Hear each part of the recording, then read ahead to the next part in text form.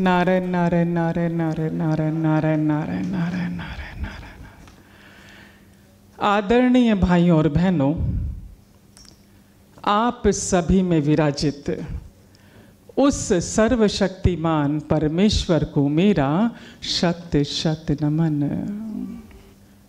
गुरुदेव से प्रार्थना कि अपना आशीर्वाद भरा हाथ मेरे मस्तक पर रखें और माँ सरस्वती से निवेदन कि मेरे कंठ में विराजित हो। ताकि प्रकृति जो संदेश, नारायण जो संदेश मेरे माध्यम से आप तक पहुंचाना चाहते हैं, उसे मैं सही तरीके से आप लोगों तक पहुँचा सकूँ।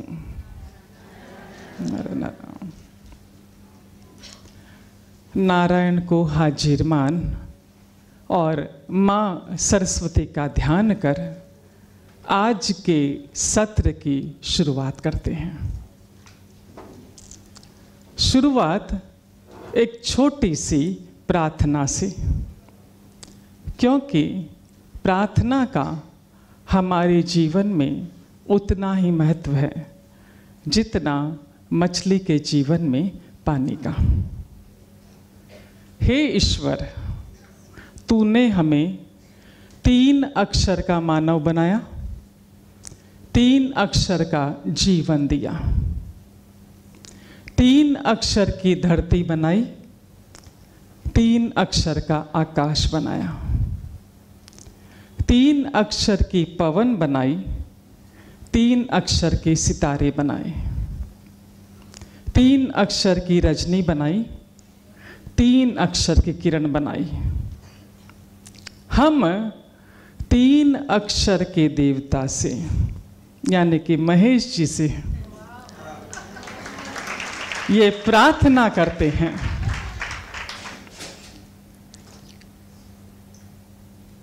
ये प्रार्थना करते हैं कि इस दो अक्षर के दिल से, इस दो अक्षर के दिल से चार अक्षर की नफरत मिटाकर ढाई अक्षर प्रीत, प्रेम और प्यार का भर दे। नारायण नारायण नारायण नारायण नारायण। सबसे पहले तो मैं धन्यवाद करना चाहूँगी महेश्वरी प्रगति मंडल एवं संस्कार एवं सत्संग समिति का और साथ ही साथ सूत्रधार ललिता जी मोदी का जिन्होंने मुझे यहाँ पर आमंत्रित किया और मुझे आप सभी लोगों को देखने का सौभाग्य प्राप्त हुआ नारायण नारायण। धन्यवाद स्वरूप, दो पंक्तियाँ समर्पित हैं कि फूल खिलते रहे आपकी राह में। फूल खिलते रहे आपकी राह में, हँसी चमकती रहे आपकी निगाह में। फूल खिलते रहे आपकी राह में, हँसी चमकती रहे आपकी निगाह में, कदम कदम पर मिले खुशी की बहार आपको। कदम कदम पर मिले खुशी की बहार आपको, दिल देता है बार बार यही दुआ आपको, दिल देता है बार बार यही दुआ आपको, दिल देता है बार बार यही दुआ आपको। नारायण नारायण नारायण नारायण। जीवन में हर व्यक्ति स्वतंत्र है। सोचने के लिए और अपनी मन चाही राह पर चलने के लिए।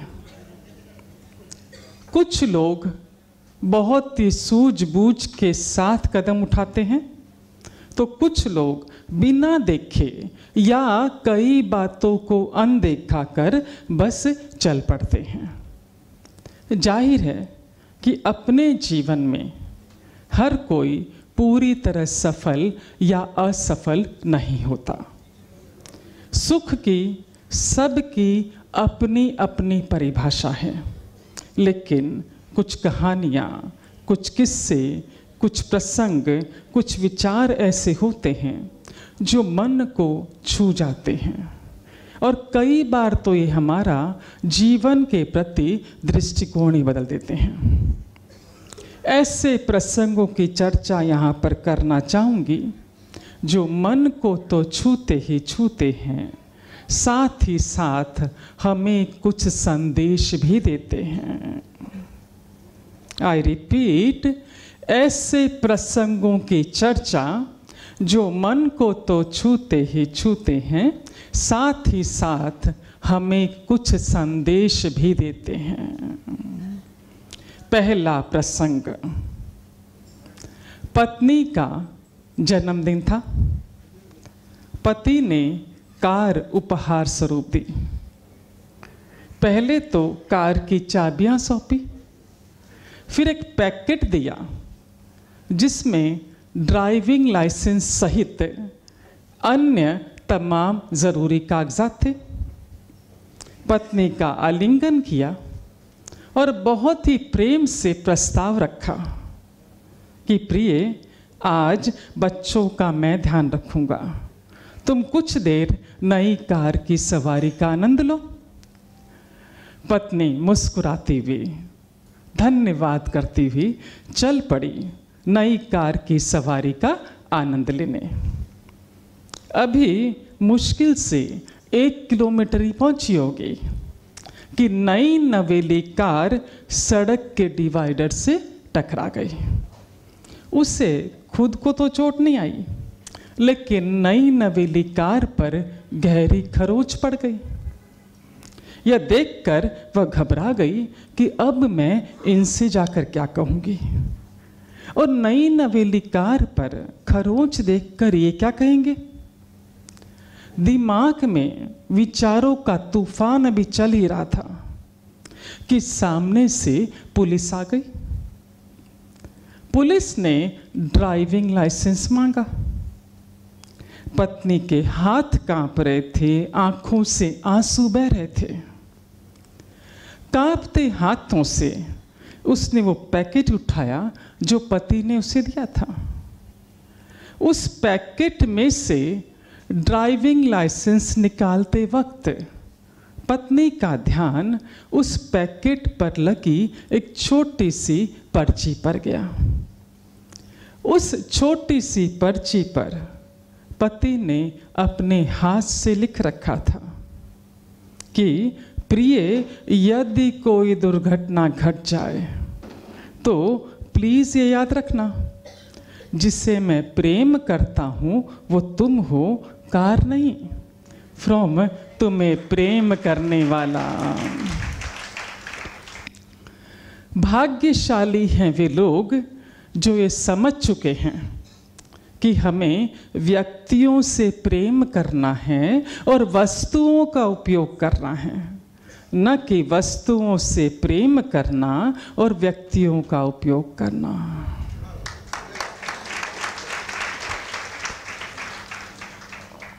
कार पर या किसी कीमती वस्तु पर जरा सी खरोंच लग जाने पर हमारा ब्लड प्रेशर ऊपर नीचे हो जाता है।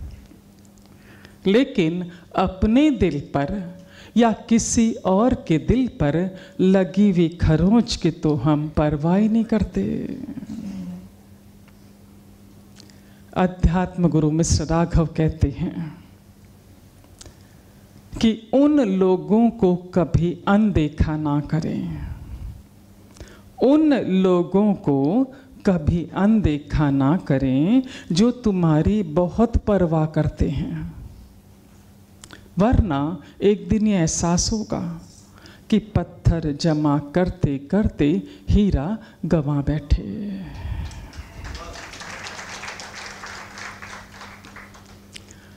पूर्व राष्ट्रपति स्वर्गीय श्री अब्दुल जी कलाम अक्सर कहा करते थे कि मेरे पास तो प्रेम करने के लिए ही समय कम पड़ता है। मेरे पास तो प्रेम करने के लिए ही समय कम पड़ता है। पता नहीं लोग नफरत के लिए कहाँ से समय निकाल लेते हैं।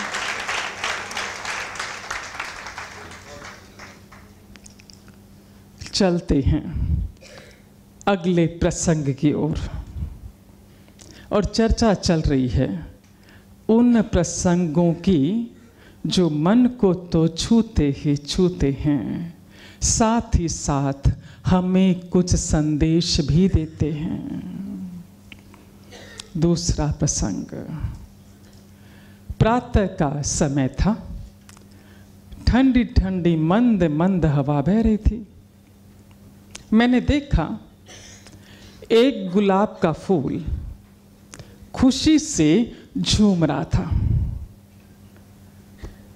उसे खुशी से झूमते देख आसपास के पेड़ पौधों ने कहा, अरे, इतना मत इतराओ, इतना मत इतराओ। शाम होते होते तुम्हारी नाजुक पंखुड़ियाँ मुरझा जाने वाली है। फूल ने मुस्कुराते हुए जवाब दिया तो क्या हुआ? जितना जीवन मिला है, उतना तो खुशी से जी लूँ, उतना तो खुश हो लूँ। आसपास के पेड़ पौधों ने फिर कहा, इतना झूमोगे, इतना इतराओगे तो मालिक की नज़र में आ जाओगे, वो तुम्हें तोड़ कर ले जाएगा। और शाम होने से पहले पहले ही तुम्हारा ये जीवन समाप्त हो जाएगा। क्या तुम्हें डर नहीं लगता? फूल ने सहज भाव से उत्तर दिया कि हम कितना अच्छा जीवन जीते हैं, ये महत्व रखता है। कितना लंबा जीवन जीते हैं, ये नहीं। और जीवन का आगे कहा कि मेरे लिए तो जीवन का अर्थ है अपने चारों ओर खुशियाँ बिखेरना, सुगंध बिखेरना। इतना कहकर वो गुलाब का फूल पुनः खुशी से झूमने लगा। जितना जीवन मिला है, उतना तो खुशी से जी लें, उतना तो खुश हो लें। हम कितना अच्छा जीवन जीते हैं, ये महत्व रखता है, कितना लंबा जीवन जीते हैं, ये नहीं। और जीवन का अर्थ है, अपने चारों ओर खुशियाँ बिखेरना, सुगंध बिखेरना। स्वामी विवेकानंद कहते हैं कि जीवन केवल धन नहीं। जीवन केवल धन नहीं, इसे धन्य करें। आई रिपीट जीवन केवल धन नहीं, इसे धन्य करें। एक बार बोल दीजिए, क्या? नारायण नारायण नारायण नारायण नारायण। चलते हैं अगले पायदान की ओर। अब जो चीज़ें आप तक पहुंचाई जाएगी, जैसे हम कहते हैं प्रैक्टिकल ट्रेनिंग चलेगी अभी आप लोगों की। और इस व्यवस्था के तहत नारायण रेखी सत्संग परिवार एक विशेष व्यवस्था रखता है वो ये कि अब जो चीज़ें आपको, आप तक पहुंचाई जाएगी, जो व्यक्ति बेहद ध्यान से सुनेगा और जब जब प्रश्न पूछे जाएँगे, आप उत्तर देते रहेंगे। जो उत्तर देगा, हमारे वॉल्टियर्स यहाँ पर ध्यान रखे हुए हैं। उन्हें सत्र की पूर्णाहुति पर कैश प्राइज दिया जाएगा। कैश प्राइज लिफाफा। अब आधे घंटे बाद बताएँगे कि उस लिफाफे में कितना रुपया है। उत्सुकता होगी ना भाई, कितना कैश प्राइस आएगा आधे घंटे में। अब चलते हैं अगले दौर में। और चर्चा करते हैं उन चीज़ों की, जो हमारे जीवन में प्राथमिकता रखती है, प्रायोरिटी रखती है। बोर्ड सबको दिख रहा है क्या? बोर्ड दिखना बहुत ज़रूरी है। आगे, पीछे, बाएँ दाएँ सबको? हम्म? हमारे जीवन की प्राथमिकता क्या है? तन स्वस्थ अग्रवाल समाज तो चाहता है, माश्वरी समाज भी चाहता है क्या? हाँ? प्रायोरिटी है प्रायोरिटी है। तन स्वस्थ, मन स्वस्थ। मन स्वस्थ यानी खुशी और आनंद से भरा हुआ हो। और धन, हमारे पास प्रचुर मात्रा में हो। कुबेर का खजाना उनके पास न होकर हमारे पास हो, ऐसा हम चाहते हैं। और हम चाहते हैं कि हमारे आपसी संबंध घनिष्ठ और मज़बूत हो, प्यार और आदर, सम्मान से ओत प्रोत हो। ये चारों एक दूसरे के साथ जुड़े हुए हैं। ये जीवन रूपी गाड़ी के चार पहिए हैं। यदि ये सही है तभी आपकी जीवन रूपी गाड़ी जीवन पथ पर सरपट दौड़ती है। यदि इसमें से एक भी अस्वस्थ है तो आपका ये पूरा पैकेज अस्त व्यस्त हो जाता है। एक दूसरे के साथ जुड़े हुए हैं। यदि ये पैकेज आपका सही है, बारंबार हम पैकेज शब्द का इस्तेमाल करेंगे तो ये मत समझना। इस क्षण दो ढाई घंटे के लिए तन, मन, धन संबंध ये पैकेज है। यदि ये पैकेज आपका सही है, तभी आपके घर में है सुख, आपके घर में है शांति, आपके घर में है समृद्धि। और जीवन में है उन्नति, प्रगति, सफलता, कब ये पैकेज सही हो, तब। इसी के माध्यम से हम अपने जीवन में सुख भोगते हैं। शास्त्र कहते हैं, ध्यान से सुन लीजिए, सत्संग चल रहा है अभी। शास्त्र कहते हैं कि सत्संग के दौरान जब व्यास पीठ पर से कोई प्रश्न आपसे पूछा जाता है और आप ऐसे या ऐसे गर्दन हिला के या हाथ ऊपर नीचे करके उत्तर देते हैं तो जीवन भर ये पेन आपको नहीं आने वाला। शास्त्रों की बातें कह रहे हैं। शास्त्रों की बातें पछा रहे हैं। हाँ इसके माध्यम से ही हम दूसरों को सुख देते हैं और इसी के माध्यम से ही हम दूसरों को दुख भी देते हैं। यदि ये पैकेज सही है, तभी हम जी सकते हैं। एक सहज, सरल, सुंदर, स्वस्थ, सफल, संपन्न और सार्थक जीवन, जिसे हम कहते हैं कि सेवन स्टार जीवन। वापस रिपीट कर रही हूँ। सहज, सरल, सुंदर, स्वस्थ, सफल, संपन्न और सार्थक जीवन। ये पैकेज यदि सही है तभी। अब इस पैकेज को सही कैसे करें और कैसे रखें ताकि हम जी सके सेवन स्टार जीवन? भगवान श्री कृष्ण ने श्रीमद् भगवदगीता में 18 अध्यायों के माध्यम से हमें बताया है कि हमारे विचार, वाणी और व्यवहार कैसा होना चाहिए ताकि हम एक सेवन स्टार जीवन जी सकें। पर हमने देखा कि श्रीमद् भगवद 18 अध्याय बहुत मोटा ग्रंथ, बहुत मोटी पुस्तक। हमारे पास इतना समय नहीं है पढ़ने का। और यदि पढ़ भी लेते हैं तो उसे जीवन में कैसे उतारें समझ नहीं पाते।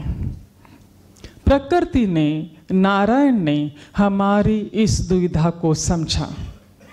और हमारी सुविधा के लिए जो 18 अध्याय हैं, उन्हें समेट कर बेहद सीधी सरल भाषा में पाँच अध्यायों में तब्दील कर दिया। जो 18 गीता गीता जी के जो 18 अध्याय हैं, उनका सार निकाल लिया और बेहद सीधी सरल भाषा में पाँच अध्यायों में सीमित कर दिया। जब 18 अध्यायों को पाँच अध्यायों में सीमित किया गया तो एक नई ग्रंथ की रचना हो गई।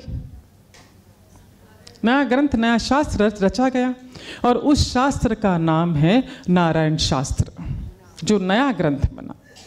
तो नारायण शास्त्र के पाँच अध्याय आप तक आज इस क्षण आप तक पहुँचाए जाएँगे। जिस ग्रंथ की चर्चा भी हम कर रहे हैं नारायण शास्त्र की, इसमें न सिर्फ़ श्रीमद भगवगीता का निचोड़ है बल्कि वेद क्या कहते हैं, उपनिषद क्या कहते हैं, शास्त्र क्या कहते हैं, ग्रंथ क्या करते हैं, क्या कहते हैं, सबका सार उसमें दिया गया है कि हमारे विचार, वाणी, व्यवहार इस तरह का होना चाहिए ताकि हम एक सही पैकेज भरा जीवन जिए, यानी तन से स्वस्थ हों, मन से स्वस्थ हों, धन से स्वस्थ हों और आपसी संबंधों से स्वस्थ हों। हमारे विचार, वाणी, व्यवहार किस तरह के होने चाहिए, ये अभी आप हमें देखना है। नारायण शास्त्र का प्रथम अध्याय आप तक पहुँचा। शुरुआत करें प्रथम अध्याय की, और पाँच अध्याय आप तक पहुँचाए जाएँगे। शास्त्रों का सार, निचोड़ पाँच अध्याय के माध्यम से आप तक पहुँचाया जाएगा। पाँच अध्याय में से किसी भी एक अध्याय पर काम करना शुरू कर दीजिए। पाँच में से किसी भी एक अध्याय पर और अपना पैकेज सही कर लीजिए। पैकेज यानी तन, मन, धन, संबंध। हम पिछले दिनों की बात है, एक वकीलों की सभा में बोल रहे थे। तो शुरुआत में हम हमेशा कहते हैं कि भी पाँच अध्याय आप तक पहुँचाए जाएँगे। पाँच में से किसी भी एक अध्याय को पकड़ लीजिए, उस पर काम करना शुरू कर दीजिए और अपना पैकेज सही कर लीजिए। है ना? हाँ। तब उनमें से एक महोदय खड़े हो गए। हाँ उन्होंने हमसे कहा कि हम आपके पाँचों अध्याय सुनेंगे और आपके कहे अनुसार जो हमें आसान लगेगा, उस एक अध्याय पर हम काम करना भी शुरू कर देंगे। पर नतीजा आने में कितना समय लगेगा? जैसे आप एक्सरसाइज करते हैं डाइट करते हैं, आप उससे पूछते हैं ना कि जो विद्या आप हमें सिखा रहे हैं, उसका उपयोग तो हम करेंगे, पर शरीर पर असर आने में एक महीना, दो महीना छः महीना कितना समय लगेगा? उन्होंने हमसे पूछा कि पाँच अध्याय सुनेंगे, एक पर काम करेंगे तो एटलीस्ट थोड़ा बताइए कितना समय लगेगा नतीजा आने में? हमने कहा, तत्क्षण। उनका प्रश्न आगे तो पूरी बात सुनो, हम इशारा करेंगे, ताली बजा दो। जो ही हमने कहा तत्व क्षण, अगले का प्रश्न था, उच्च शिक्षित थे ना, कि what do you mean by तत्क्षण तत्क्षण का अर्थ क्या? हमने कहा, भाई मेरे, हमारे ज़माने में कार्बन चलता था। कार्बन मालूम है क्या? नीचे ब्लैंक पेपर ऊपर कार्बन ऊपर पेपर फिर ऊपर लिखना शुरू करते थे। तो मैंने कहा, नीचे पहुँचने में कितना टाइम लगेगा? तत्क्षण, वैसे ही इसका असर भी तत्क्षण। जिस मानसिक और शारीरिक अवस्था और व्यवस्था के साथ आप इस हॉल में पधारे थे निश्चित है चेंज होगा, परिवर्तन होगा डेफिनेट है परिवर्तन होगा, जब आप यहाँ से वापस प्रस्थान करेंगे। और यदि परिवर्तन नहीं होता है तो बैठा है प्रायश्री प्रगति समाज और संस्कार वाली जो है ना, उनको पकड़ लीजिएगा कमेटी वालों को। हाँ तो बात चल रही थी तन मन धन संबंधों की। तो पहला अध्याय शुरू होता है नारायण शास्त्र का, अब जब जब भी जीवन को सुधारने की, संवारने की, सुंदर बनाने की बात आती है, सबसे पहले हम फोकस करते हैं हमारे इस तन पर।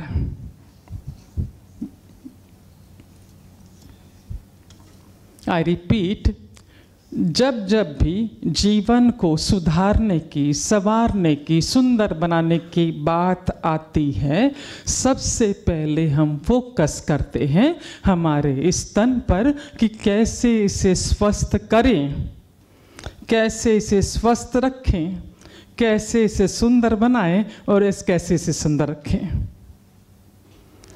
और कितना धन और कितना समय लगाते हैं इसके रख रखाव में। कई बार इतना धन और समय लगाने के बावजूद भी मन चाहे नतीजे हमें नहीं मिलते। पर यदि हम शास्त्रों की बातें समझ लेते हैं या यूँ कहें कि भीतर की बात समझ लेते हैं तो इसका रख रखाव आपके लिए बेहद आसान हो जाएगा, बेहद आसान हो जाएगा। भीतर की बात यानी क्या? अब जैसे ये दीवार है, अंदर सीलन है, बाहर पपड़ियाँ निकल रही है। आप बारंबार चूना लगाते जा रहे हैं ऑयल पेंट लगाते जा रहे हैं, हर दूसरे, तीसरे, छठे महीने वापस पपड़ी निकलती जा रही है। यदि भीतर जो सीलन है, उसका इलाज कर लेते हैं। तो बारंबार पेंटिंग करनी पड़ेगी क्या? हाँ तो भीतर का इलाज आप तक पहुँचा रहे हैं। यदि रहस्य हम समझ जाएँ कि शरीर हमें कहाँ से मिला और क्यों मिला, ताकि इसका रख रखाव आपके लिए बेहद बेहद बेहद आसान हो जाएगा। कहते हैं कि चौरासी लाख योनियाँ होती हैं। हाँ? चौरासी लाख योनि चौरासी लाख योनियों में सर्वश्रेष्ठ योनि कौन सी है? मनुष्य योनि सर्वश्रेष्ठ योनि है। ऐसा भी कहता है शास्त्र कि मनुष्य देह ईश्वर की सर्वोत्तम रचना है। एम आई राइट चौरासी लाख योनियों में सर्वश्रेष्ठ योनि ईश्वर की सर्वोत्तम रचना मनुष्य योनि और शास्त्र ये भी कहता है कि देवता भी तरसते हैं इस मनुष्य देह को पाने के लिए। देवताओं के लिए भी दुर्लभ है, दुर्लभ शब्द का इस्तेमाल किया गया है। देवता तरसते हैं, देवताओं के लिए भी दुर्लभ है मनुष्यों ने। तब सहज ये मन में प्रश्न आया कि जो योनि पाने के लिए देवता भी तरसते हैं, उनके लिए भी दुर्लभ है तो ये हमें कैसे मिली और क्यों मिली? चौरासी लाख योनियों में सर्वश्रेष्ठ योनि, मनुष्य योनि, ईश्वर की सर्वोत्तम रचना। सबसे बड़ा प्रश्न ये कि जो देह देवता भी पाने के लिए तरसते हैं, उनके लिए भी दुर्लभ है। ये हमें कैसे मिली और क्यों मिली? आइए देखते हैं कैसे मिली क्यों मिली, ताकि इसका रख रखाव आपके लिए बेहद आसान हो जाए। और हमारा फोकस किस पर है? तन, मन, धन संबंध पर। ये मनुष्य योनि हमें मिली, इसके पहले हमने कई सारे जीवन जिए हैं, क्योंकि चौरासी लाख योनियाँ होती हैं। इन जन्मों में जो जो हमने अच्छे कर्म किए, वो हमारे खाते में जमा होते गए। इन योनियों में जो जो हमने अच्छे कर्म किए, हमारे अकाउंट में, खाते में जमा होते गए। अच्छे कर्मों की परिभाषा क्या? सीधी सी परिभाषा है कि आपके द्वारा किया गया वो कर्म जो दूसरों को सुख पहुंचाता है, दूसरों को खुशी देता है, अच्छे कर्मों की श्रेणी में आता है। छोटा सा, सीधा सरल, कि आपके द्वारा किया गया वो कर्म जो दूसरों को सुख पहुंचाता है, खुशी देता है, वो अच्छे कर्मों की श्रेणी में आता है। तो आपने जो कर्म किए, वो आपके खाते में जमा होते गए इन पर ईश्वर की कृपा हुई, कृपा प्लस कर्म। ईश्वर की कृपा और कर्म आपके। आपको मनुष्य योनि के लिए चुना गया। मनुष्य योनि आपको मिली नहीं थी, आपको चुना गया था। जब आपको मनुष्य योनि के लिए चुना गया, लिस्ट में आपका नाम आ गया। तब देवताओं ने अपने दूत आपके पास भेजे। ये पूछने के लिए कि आपको मनुष्य योनि के लिए चुना गया है, आपको मनुष्य योनि चाहिए है क्या? आपका तत्क्षण उत्तर था कि चाहिए है। मैं अच्छे कर्म इसलिए कर रहा था कि मुझे मनुष्य योनि चाहिए है। दूसरा प्रश्न पूछा गया। जब आपने यस कहा कि मनुष्य होने चाहिए है, दूसरा प्रश्न आपसे पूछा गया कि नर तन धारण करके आप पृथ्वी पर जाना चाहते हैं या नारी तन धारण करके आप पृथ्वी पर जाना चाहते हैं? ये भी चुनाव आपका था। मेरी बहनों ने चुना नारी तन, मेरे भाइयों ने चुना नर तन। जब हमने ये चुन लिया तीसरा प्रश्न हमसे पूछा गया कि कितने समय तक के लिए आप पृथ्वी पर जाना चाहते हैं? पाँच घंटे, पाँच दिन, पचास साल, कितना समय? हमने कहा सत्तर साल पृथ्वी पर रहना चाहते हैं। सेवेंटी ईयर्स तो हमारे साथ तीन पुस्तकें आती हैं। राशन कार्ड, पासबुक और काम करने का कोटा। जब हमने कहा कि हम सत्तर साल पृथ्वी पर रहना चाहते हैं तो हिसाब लगाया गया कि यदि ये व्यक्ति सत्तर साल पृथ्वी पर रहता है तो इसे कितना भोजन पानी चाहिएगा? अनाज कितना चाहिएगा? हिसाब लगाया गया 200 किलो अनाज आया हिसाब में। और हमारे राशन कार्ड में 250 किलो लिखा गया। रिक्वायरमेंट कितनी है? 200 किलो की 250 किलो लिखा गया, अतिरिक्त लिखा गया और राशन कार्ड हमें दिखाया गया कि तुम्हारी रिक्वायरमेंट 200 के जी की है 250 के जी लिखा है और चाहिए है क्या? जैसे हमारे परिवार का सदस्य यात्रा पर जाता है, ये भी रख ले, वो भी रख ले, वो भी रख ले, और चाहिए क्या, और चाहिए क्या, और चाहिए क्या? पूछते हैं ना? अतिरिक्त सामान देख के भेजते हैं, रख लो, पड़ा रहेगा। हमें दिखाया गया कितना है? 200 के जी रिक्वायरमेंट है 250 के जी लिखा है, और चाहिए है क्या?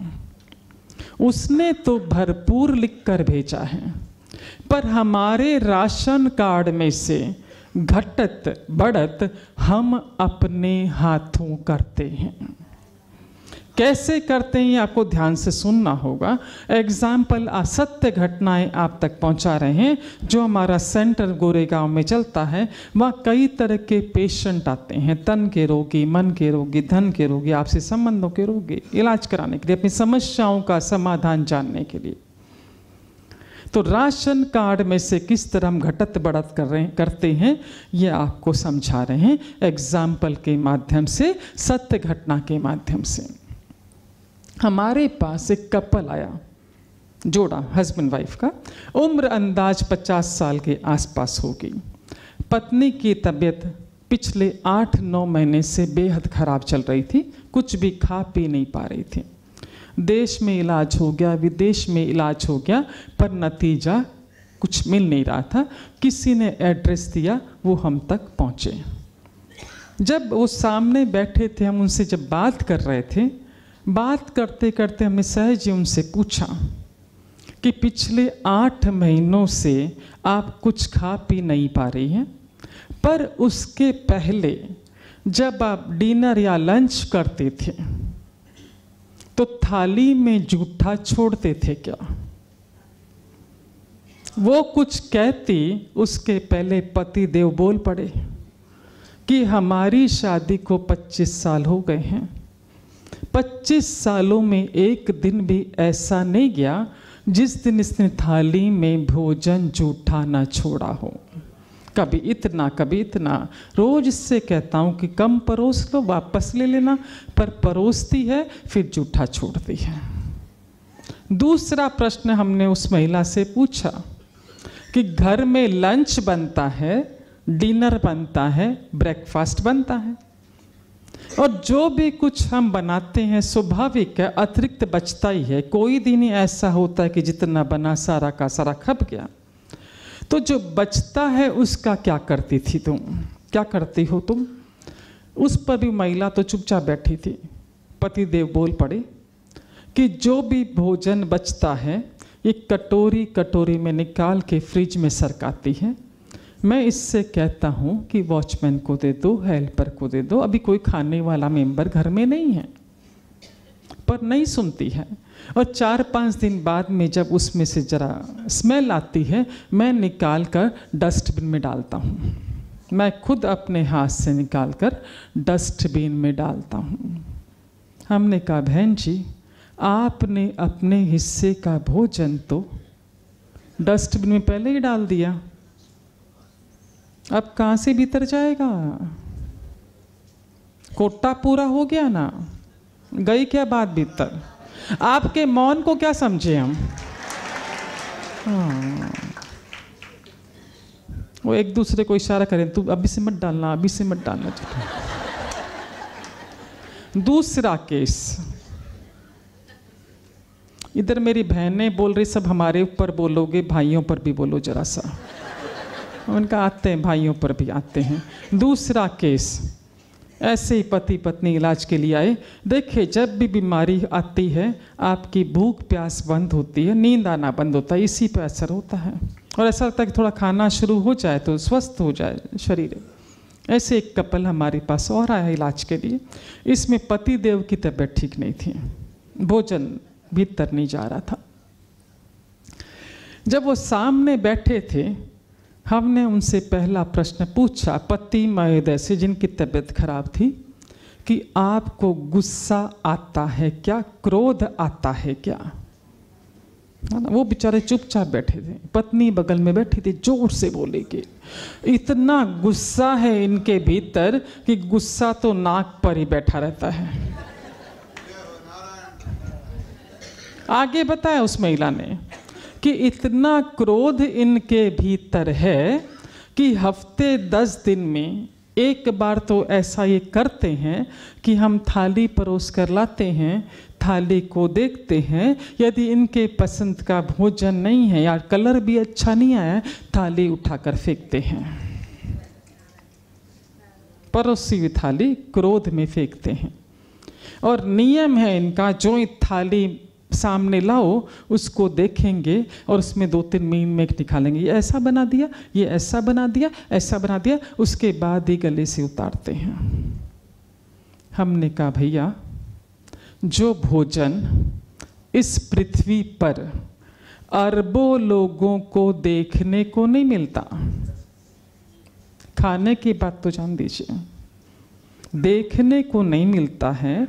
यदि आप उसका इस तरह अपमान करेंगे, वो भीतर कहाँ से जाएगा?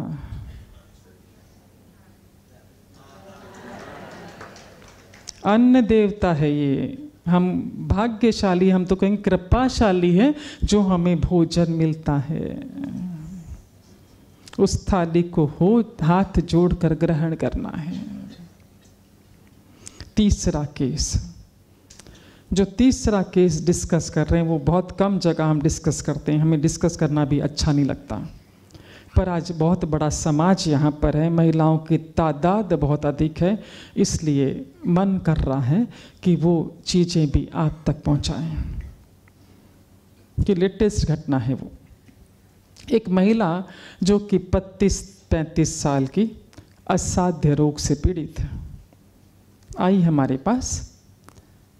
जब हम बातचीत कर रहे थे, उन्होंने उसने बताना शुरू किया कि जब मैं शादी होकर ससुराल आई चार पाँच महीनों बाद से ही मेरी और मेरी सास की अनबन होना शुरू हो गई। और मैंने उन्हें परेशान करने की ठानी।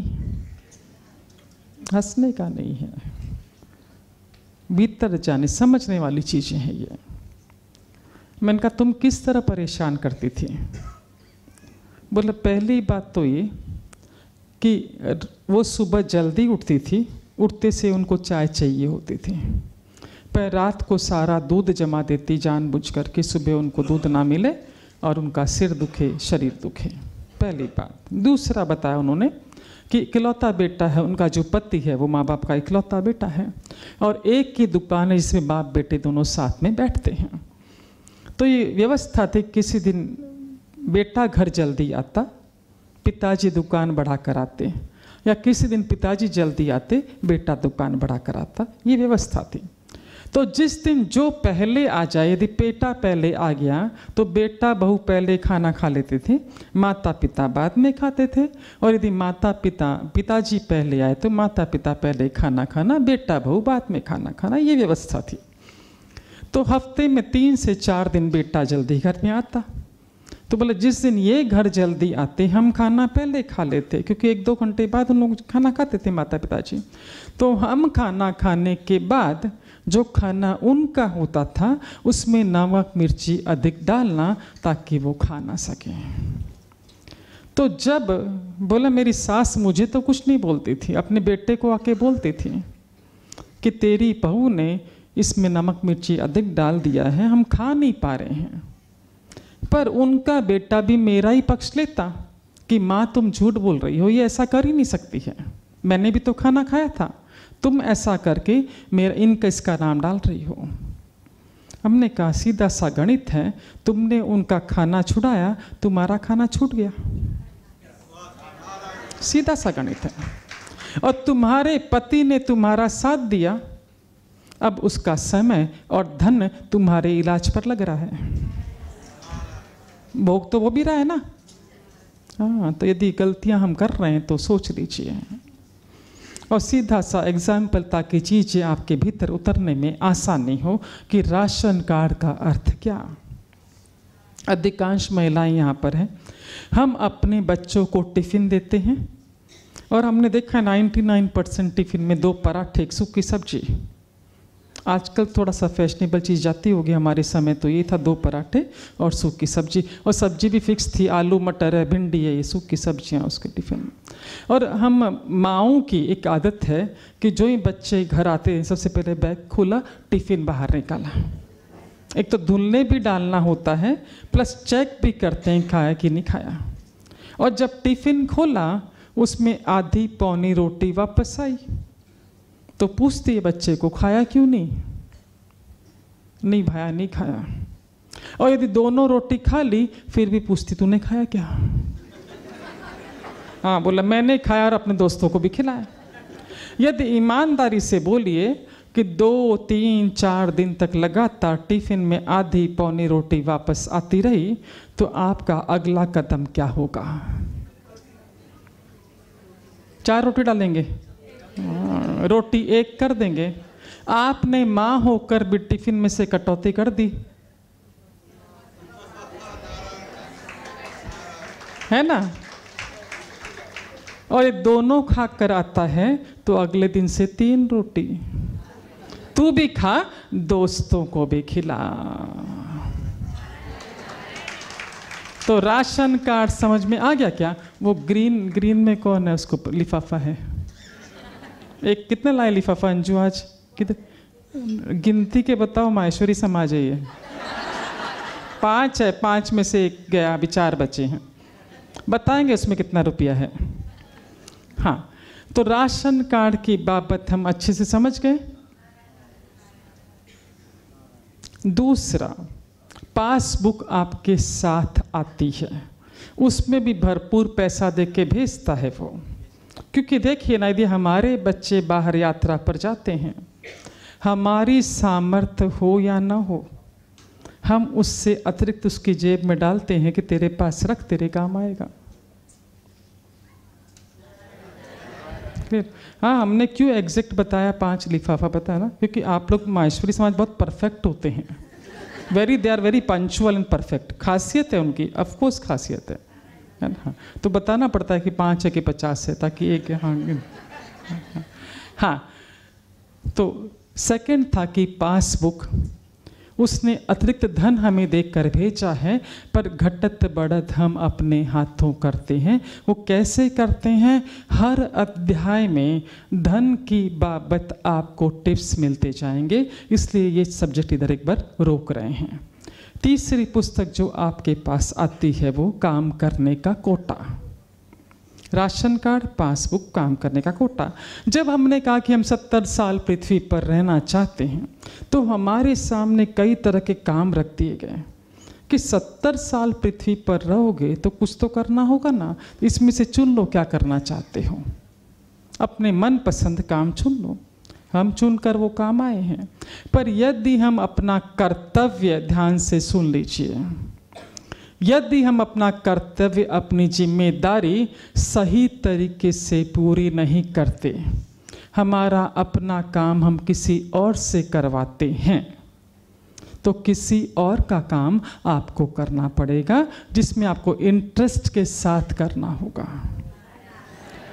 सत्य घटना आप तक पहुँचा रहे हैं ताकि इस बुक की बाबत समझने में आपको आसानी हो, जो काम करने का कोटे की पुस्तक है। एग्ज़ाम्पल के माध्यम से आसान होती चीज़ें भीतर तक उतरने में।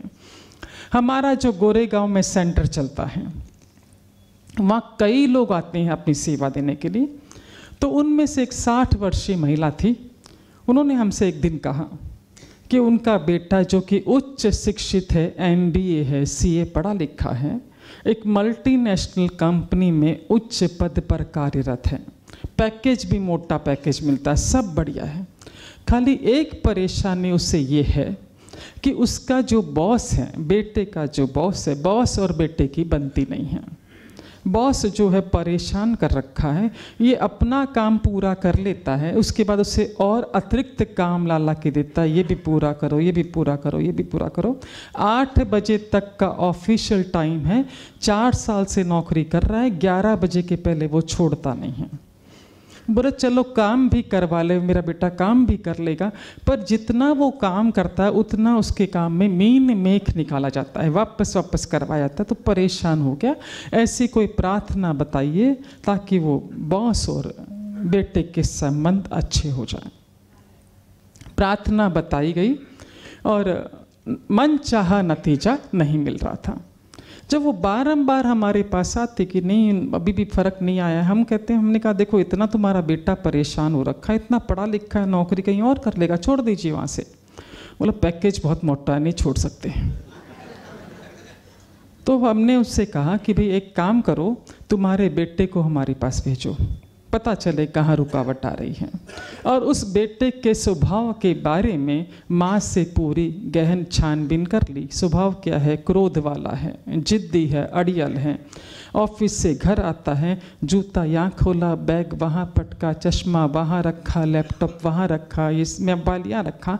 और सुबह जब ऑफ़िस जाना होता है चीखना, मेरा सामान किधर है, ये किधर है, ये किधर है? अस्ते वस्ते बोले सुबह रोज का उसका नियम है चिल्लम चिल्ली करके घर से निकलता है। हम इसलिए शांत रहते हैं कि शांति से चला तो जाए। बेचारी माई सांस ले रही है। हाँ ऐसी उसकी व्यवस्था, स्वभाव मालूम कर लिया। सेकेंड डे जब वो मिलने के लिए आया हमसे बड़े बेहद स्मार्ट हैंडसम पर्सनैलिटी ऐसे बातचीत के दौरान हमने उनसे पूछा कि भाई, कितने बजे ऑफ़िस जाते हो? बोला, नौ बजे निकलता हूँ। उठते कितने बजे हो? साढ़े आठ। हमने कहा, आधे घंटे में तैयार हो जाते हो। बोला हाँ माँ सब करके रखती है, खाया तो खाया तो रखा है ऐसा। और भीतर की बात तो हमको मालूम थी, क्या स्वभाव है। थोड़ा समझा बुझा के उसे, इस इस पर लाए कि तुम जो सारा काम जो तुम्हें खुद को करना चाहिए, वो तुम्हारी माँ पर छोड़ के जाते हो। और निकलते निकलते भी, चीखते चिल्लाते जाते हो, परेशान करते भी जाते हो।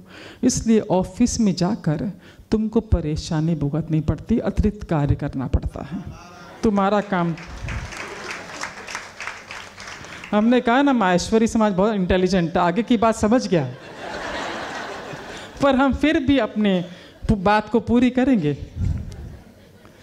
है ना? हमने उससे कहा, घर में अपना काम सारा ठीक से करा करो, ताकि ऑफ़िस में तुम्हें अतिरिक्त कार्य न करना पड़े। बोला, आंटी, ऐसा होता है क्या? मैं नहीं मानता। मैंने कहा भैया आठ दिन ट्रायल कर लो। एट डेज़ खाली ट्रायल कर लो। यदि आपको मन चाह नतीजा मिलता है तो आगे बढ़ो, अन्यथा तुम अपनी जगह, हम अपनी जगह। बोला, ठीक है। सेकेंड डे से माँ से तो रिपोर्ट हमको मिल रही थी ना? बोला, बराबर सुबह एक घंटे पहले उठ गया, बिस्तर समेट के जाना, जो रखा वो प्रेम से खा के जाना, सामान रखना, वो सब व्यवस्थित। सारा बेहद डिसिप्लिन के साथ माँ बाप से भी बहुत प्रेम से बात करना, सब बढ़िया, चलो। तीसरे दिन उस लड़के का फ़ोन हमारे पास रात को आठ बजे आया कि, आंटी, चमत्कार हो गया। चार साल से नौकरी कर रहा हूँ। आज पहली बार फ़र्स्ट टाइम मेरे बॉस ने मुस्कुराते हुए मुझे आठ बजे छुट्टी दे दी कि जा दो। समझा क्या? तत्क्षण। है ना? चले आगे अभी। तो राशन कार्ड, पासबुक काम करने का कोटा ये हमारा पूरा हो गया। अगला प्रश्न हमसे पूछा गया, जब हमने कहा कि सत्तर साल हम पृथ्वी पर रहना चाहते हैं, सारी बातें शास्त्रों की पहुँचा रहे हैं आप तक। इधर की भी इतनी सी भी इधर उधर से नहीं है, सब सार पहुँचा रहे हैं, सार। अगला प्रश्न हमसे पूछा गया कि सत्तर साल यदि तुम पृथ्वी पर रहना चाहते हो तो बचपन कैसा चाहिए? जवानी कैसी चाहिए, बूढ़ापा कैसा चाहिए, अंत समय कैसा चाहिए। पचासों तरह के बचपन हमारे सामने रख दिए गए, जवानी रख दी गई, बुढ़ापा रख दिया गया, अंत समय इसमें से चुन लो कैसा जीवन आप जीना चाहते हैं। वर्तमान अवस्था में हम जो जीवन जी रहे हैं, ये हमारा खुद का चुना हुआ था। पर यदि आप खुश और संतुष्ट नहीं हैं तो जिस तरह का जीवन आप जीना चाहते हैं, वैसा जीवन जीने का इस क्षण भी आपको हक है, हक हक। अधिकार है, पर कुछ चीज़ें अपनानी होगी, कुछ चीज़ें छोड़नी होगी। जिस तरह का जीवन आप जीना चाहते हैं, उस तरह का जीवन जीने के लिए। तो क्या अपनाना होगा, क्या छोड़ना होगा? हर अध्याय में टिप्स आप तक पहुँचेंगे। तो बचपन जवानी, बुढ़ापा, अंत समय आपका खुद का चुनाव किया गया था। फिर भी वर्तमान अवस्था में खुश और संतुष्ट नहीं है तो ऐसा क्या करें ताकि जो जिस तरह का जीवन हम जीना चाहते हैं, उस तरह का जीवन हम जी सकें। अब अगला प्रश्न। जब आपने चुन लिया अपना बचपन जवानी, अगला प्रश्न आपको ध्यान से सुनना है, इसलिए सुनना है कि वहाँ जो भी आप उत्तर देकर आए हैं, हमको याद नहीं हमने क्या उत्तर दिया था। तो इस क्षण भी वो कहता है कि आपको चुनाव करने का अधिकार है, इस क्षण भी। है ना? तो प्रश्न ध्यान से सुनना है। अगला प्रश्न आपसे पूछा गया कि पृथ्वी पर जब आप जाएँगे तो आप वहाँ पर लोगों की सेवा करना चाहते हैं या सेवा करवाना चाहते हैं लोगों से? वहाँ पर दो बोर्ड टंगे थे। मे आई हेल्प यू और दूसरा था, आई नीड हेल्प दोनों में से एक उठाकर गले में टांगना था। तो अभी भी चॉइस है आपको। है ना, हम कहीं पर बोल रहे थे, उन्होंने कहा कि आधा आधा चाहिए सेवा भी करेंगे सेवा करवाना भी चाहेंगे। आधा आधा नहीं होता, एक ही बोर्ड होगा, दोनों में से एक गले में टांगना है। अभी आपकी चॉइस है कि आप क्या चाहते हैं।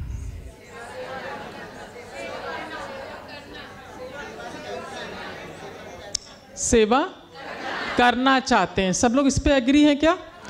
और जो करवाना चाहते हैं वो सत्र की पूर्णाहुति के बाद हॉल के बाहर मिले। हाँ अभी ध्यान से सुनना है कि अब हमारे पैकेज की बात चलेगी। पैकेज क्या है हमारा? है ना? हाँ इसकी बात चलेगी अभी। जब हमने चुना सेवा करना तो नारायण को बहुत खुशी हुई। जी, कैसे खुशी हुई? जैसे यदि हमारे बच्चे कुछ अच्छा काम करना चाहते हैं कि कल से हम सुबह चार बजे उठेंगे वॉक पर भी जाऊँगा, पढ़ाई भी करूँगा। हम झट जो ही वो हमसे कहता है कि कल से सुबह चार बजे उठूँगा, पढ़ाई करूँगा वॉकिंग करूँगा एक्सरसाइज करूँगा, हम झट कहते हैं कि हमारी तरफ़ से तुमको क्या चाहिए सहायता चाहिए कि तुम जल्दी उठते हो तो चाय बना के देवें, नए जूते ला के देवें, क्या फैसिलिटी तुमको देवें? है ना? है ना? तो वैसा ही जब नारायण ने सुना कि हम सेवा करना, हमने चुना है सेवा करना दूसरों की तो बतौर कॉम्प्लीमेंट उपहार स्वरूप वो हमको क्या दे रहा है देखिए। सेवा होती है तन से और सेवा होती है धन से। नारायण कहते हैं कि यदि आप अपने तन से दूसरों की सेवा करेंगे तो आपके तन को स्वस्थ रखने की ज़िम्मेदारी मेरी है। वो कहता है आई रिपीट कि यदि इस तन से आप दूसरों की सेवा करेंगे तो इस तन को स्वस्थ रखने की ज़िम्मेदारी मेरी है। तुमको सोचना नहीं है। और यदि आप धन से योगदान देंगे दूसरों को तो आपके धन को मल्टीप्लाई करने की ज़िम्मेदारी मेरी है। मल्टीप्लाई हमने भाई जी जब उस सत्संग में भी कहा था मल्टीप्लाई तो वकील महोदय खड़े हो गए।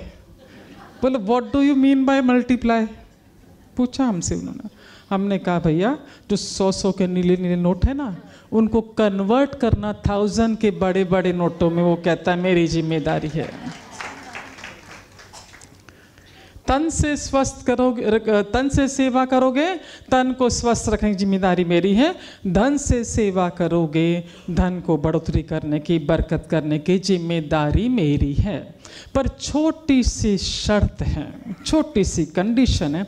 हमने देखा ना बड़ी बड़ी जो मल्टीनेशनल कंपनियाँ होती हैं 80 परसेंट डिस्काउंट 90 परसेंट डिस्काउंट बड़ा बड़ा बैनर लिखा होता है, पर नीचे छोटा सा स्टार होता है कंडीशन अप्लाई है ना? होता है ना कंडीशन अप्लाई तो वो भी कहता है कि छोटा सा स्टार है कंडीशन अप्लाई क्या कंडीशन देख लीजिए? कि आपकी तन के साथ मन जुड़ा होना चाहिए। हमने देखा अब इस सोशल सर्विस में लगभग 25-26 साल हो गए, और नित्य नए लोगों से मिलने का सौभाग्य मिलता है। एक चीज़ हमने देखी कि हर व्यक्ति सेवा देता है, हर व्यक्ति सौ प्रतिशत लोग सेवा देते हैं। सेवा तो देते हैं, पर संवादों के साथ कि मैंने ही ठेका ले रखा है क्या? इतना समझ मुझे इतना बस है बोलना। तो तन की सेवा के साथ यदि मन जुड़ा है तो ऐसे में मैं बाध्य हो जाता हूँ तुम्हारे तन को स्वस्थ करने के लिए, तुम्हारे तन को स्वस्थ रखने के लिए। पर यदि तन की सेवा के साथ संवाद भी चल रहे हैं, कि मुझे क्या पैसा कमाने की मशीन समझ रखा क्या दिन रात खटता रहता हूँ उस घर के लिए? ऐसा ऐसा ऐसा ऐसा। तो मेरी ज़िम्मेदारी नहीं है तुम्हारे तन को स्वस्थ करने की, न रखने की। तन और मन का मिलन किसे कहते हैं? तन के साथ मन जुड़ा होगा तो ही वो बाध्य हो तो कहता है, मैं बाध्य हूँ फिर तुम्हें स्वस्थ रखने के लिए। तो तन और मन का बंधन किसे कहते हैं? या चीज़ों को समझना होगा एग्ज़ाम्पल के माध्यम से, ताकि चीज़ें समझने में आपको आसानी हो। आजकल की महिलाएँ, हमने देखा, बहुत व्यस्तता भरा जीवन जी रहे हैं। घर भी संभालते हैं और बाहर भी संभालते हैं। ऐसे में इतने व्यस्त जीवन में, जब उनके पास मैके से फ़ोन आता, पीहर से फ़ोन आता, माँ की तबीयत ठीक नहीं है। भागी भागी सब काम छोड़ कर जाती है माँ की सेवा के लिए। है ना? जाके वहाँ उनके सारे काम पूरे करके आते हैं। वहाँ से वापस आने के पहले चार बार बोल कर आते हैं कि कुछ भी काम होगा, आधी रात को बुला लेना। हाजिर है है ना? वहाँ से जब आते फुर्ती के साथ घर पहुँचते हैं और अतिरिक्त कार्य भी सल्टा कर रखते हैं। सल्टा मतलब मालूम है ना? सल्टा के रखते हैं कि बाई चांस वहाँ से फ़ोन आया तो चले जाएँगे। फुर्ती के साथ अतिरिक्त काम पूरा करके रखना और इस बीच भी हम चार बार उधर फ़ोन करके पूछ लेते हैं, सब ठीक है ना, सब ठीक है ना, सब ठीक है ना? है ना? यही अवस्था, यही व्यवस्था ससुराल से फ़ोन आता है। आगे बोलूँ क्या? कि सासू माँ की तबीयत ठीक नहीं है।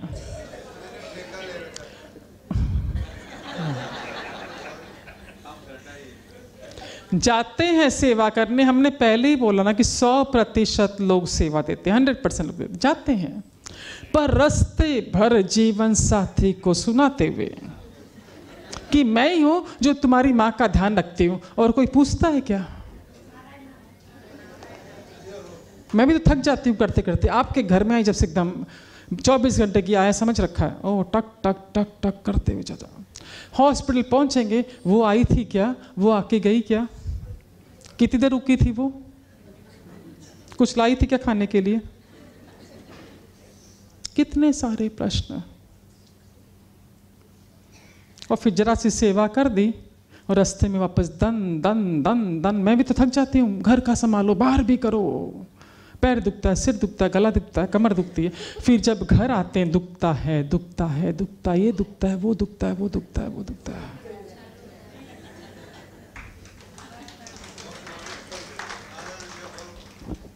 गई ना, समझा ना।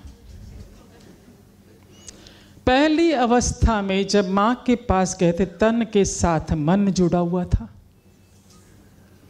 शरीर में फुर्ती थी, क्योंकि वो साथ दे रहा था, मन जुड़ा हुआ था सेवा में। और दूसरी अवस्था में तन तो था, मन था क्या? नहीं था। वो कहता है, मैं भी नहीं हूँ। फिर ये दुखता है, वो दुखता है, थक जाते हैं। उधर से इशारा हो रहा है कि महिलाओं पर ही क्यों इतना बोलते हो? थोड़ा भाइयों पर भी बोलो ना। तो आते हैं उनके ऊपर भी। अपवाद तो कोई नहीं है ना। तैयार है।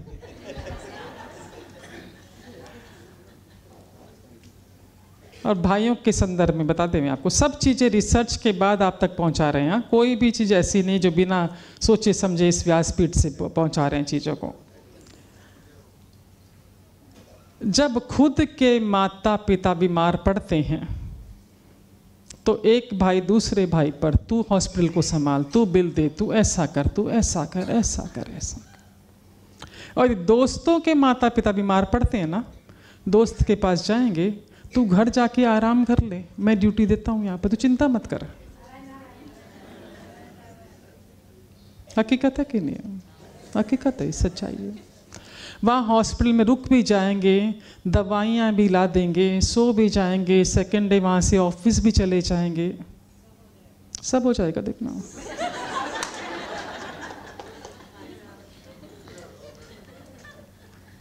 जब खुद के माता पिता के वक्त तन तो था, मन नहीं था, ऐसे में क्या शरीर का दुख ना, बीमार पड़ना? होता है कि नहीं होता है?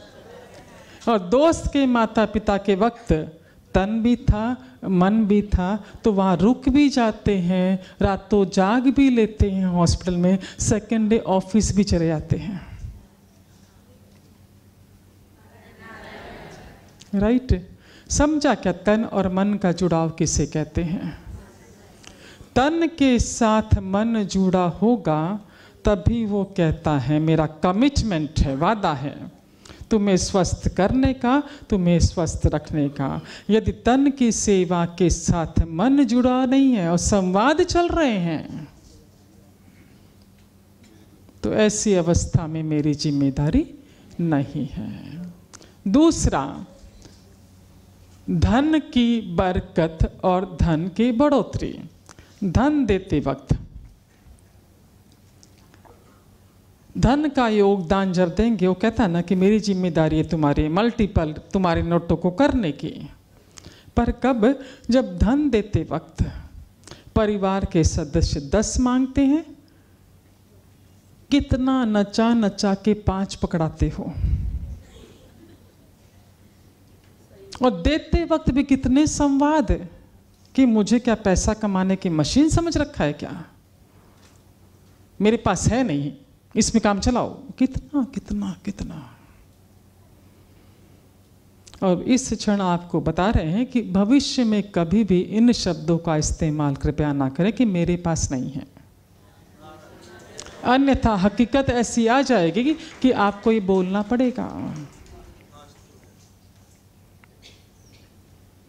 और देते धन देते वक्त यदि ये भाव भीतर हो मांगा परिवार के सदस्य ने देते वक्त के, हे ईश्वर नारायण, दे तू रहा है, माध्यम मुझे बना रहा है, तेरा धन्यवाद है। सच्चाई है ये, सच्चाई है। हम सब निमित्त मात्र हैं।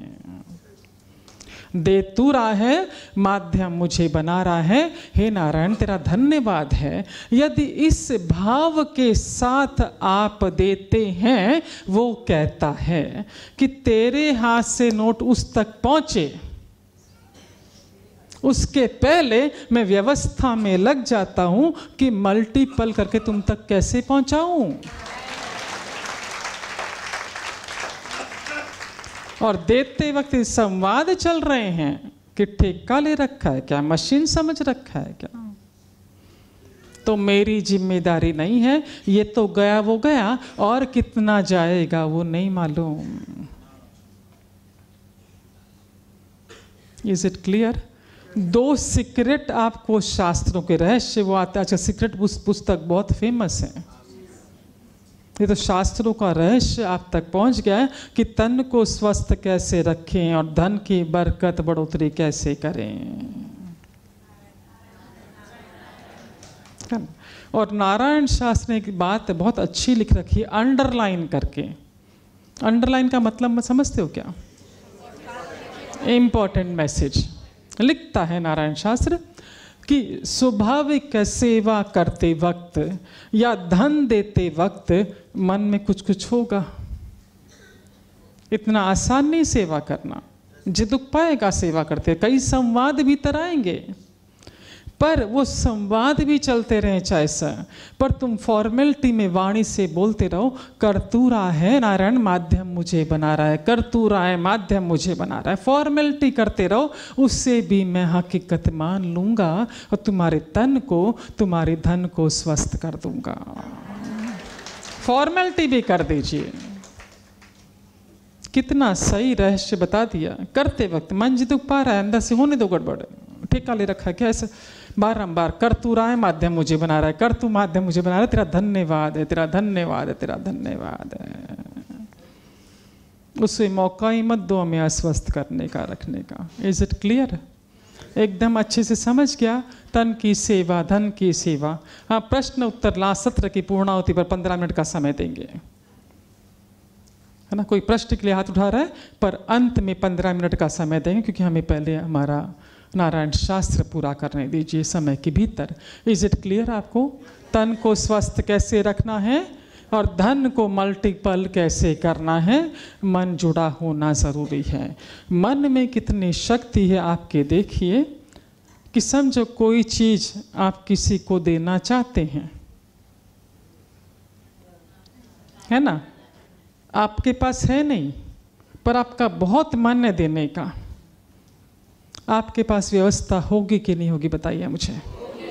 है ना? पर आपके पास बहुतायत में है, पर आपका मन नहीं है देने का। तो मजाल है, कोई देख भी ले। हाँ। अब अंतिम प्रश्न पहले अध्याय का, अंतिम प्रश्न ध्यान से समझना है, पूरा सार उसमें आ जाएगा। ये रब कर दो हाँ।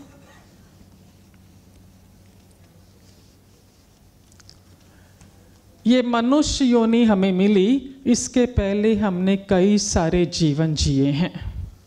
याद आया क्या? है ना? इन जन्मों में हमने जो जो अच्छे कर्म किए, हमारे खाते में जमा होते गए, अच्छे कर्मों की परिभाषा क्या हमने दूसरों की सेवा की? सीधे सरल परिभाषा, हमने सेवा की, वो अच्छे कर्म जमा हुए, उस उस अच्छे कर्मों की एवज में हमें ये मनुष्यों ने मिल रही है। है ना? तो वो खाता पूरा हो गया।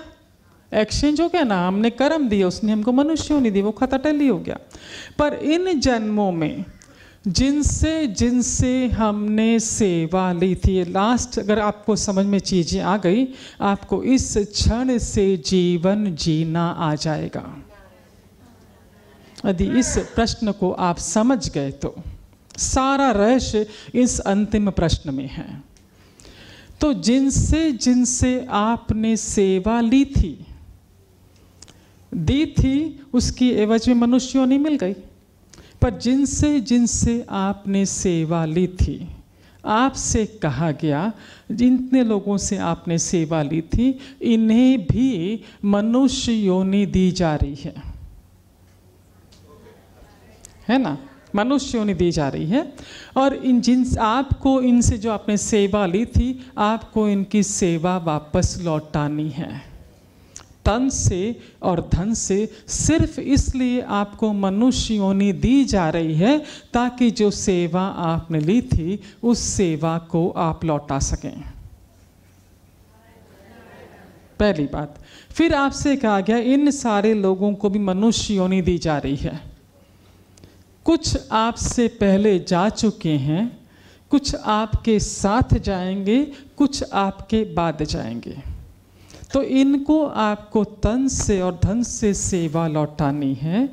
तो इनको आपके जीवन में किस रूप में भेजें, ताकि आप तन से सेवा भी दे सकें, आप धन से सेवा भी दे सकें। तो सबसे पहली बात तो आपने जब ये सुना कि ये लोग भी मेरे साथ पृथ्वी पर रहेंगे, आपको बड़ी खुशी हुई, क्योंकि ये सारे आपके शुभ चिंतक थे। क्योंकि जो शुभ चिंतक होता है, वही सेवा देता है। इनका बहुत बड़ा हाथ था आपको मनुष्य योनि दिलाने में। जैसे कोई बच्चा सीए बनता है डॉक्टर बनता है, अकेले के दम पर बन जाता है क्या? कितने सारे लोगों का सहयोग होता है? समय का, धन का, मेहनत का, तब जाके वो खड़ा होता है। तो इनका सहयोग था इस योनि हमें मिलने में। तो हमसे कहा गया कि इनकी सेवा आपको तन और धन से करके लौटानी है। सेवा लौटानी है, बैलेंस शीट टैली करनी है। ये शरीर हमें ईश्वर से मिला है और इस शरीर को हमें ईश्वर से मिलवा देना है। जब आपने सुना कि ये मेरे साथ पृथ्वी पर रहेंगे, बड़ी खुशी हुई कि शुभ चिंतक है, मेरे इर्द गिर्द ये लोग रहेंगे। दूसरा आपके मन में ये भी था कि यदि मुझे तन की सेवा देनी है, धन की सेवा देनी है तो दोनों की व्यवस्था कौन करेगा? वो करेगा ना, वो कहता है ना कि यदि तुमने सेवा की तो तुम्हारे तन को मैं सब रखूँगा और धन की व्यवस्था किसकी है? तो जेब से तो मेरे कुछ नहीं जा रहा है। है ना? हाँ।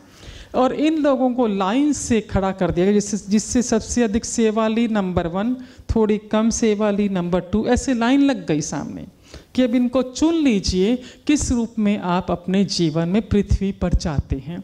आपने कहा कि इसे मेरी माँ के रूप में भेज दीजिए, इसे मेरे पिता के रूप में भेज दीजिए, भाई के, बहन के, बेटा के, जमाई के जितने रिश्तेदार आपके साथ हैं। ये सारे आपने मांग कर चुन कर लिए हैं। जिनके साथ आप रहते हैं, जो आपके साथ रहते हैं, सबसे अधिक सेवा आपने उनसे ले रखी है। इसलिए आपने कहा कि इनको नज़दीक में रखिए हमारे। यदि दूर रिश्ते में रहे तो हम कैसे सेवा दे पाएँगे? तो नारायण शास्त्र में ये नहीं लिखा हुआ कि बेटा है तो माता पिता की सेवा करना चाहिए। वो कर रहा है तो वो अपना बैलेंस शीट टैली करवा रहा है। हर व्यक्ति, जो जिनके साथ हम रहते हैं इवन हेल्पर आपका। आपने उसे भी मांग कर चुन कर लिया था। तो तन की सेवा, धन की सेवा लौटानी है। ये शरीर हमें ईश्वर से मिला है। इस शरीर को हमें ईश्वर से मिलवा देना है। इतना समझा क्या? अब जब ये जो मेरे इर्द गिर्द है, सारे मेरे अपने हैं ना? तो क्रोध किस पर कर रहे हैं हम? ईर्षा किससे है? द्वेष किससे है? ईगो किससे है? जब सारे मेरे शुभ चिंतक मेरे नज़दीक हैं इज़ इट क्लियर तन की सेवा लौटानी, यदि तन स्वस्थ रखना है आपको तो आपको सेवा देनी ही होगी। अन्यथा कितना भी एक्सरसाइज कर लीजिए, कितना भी डाइट कर लीजिए, ये तन आपका स्वस्थ नहीं रह सकता, जब तक आप स्तन के माध्यम से सेवा नहीं देंगे। इज़ इट क्लियर चलिए, पहले अध्याय की पूर्णावती यहाँ पर हो चुकी है। अब दूसरा अध्याय।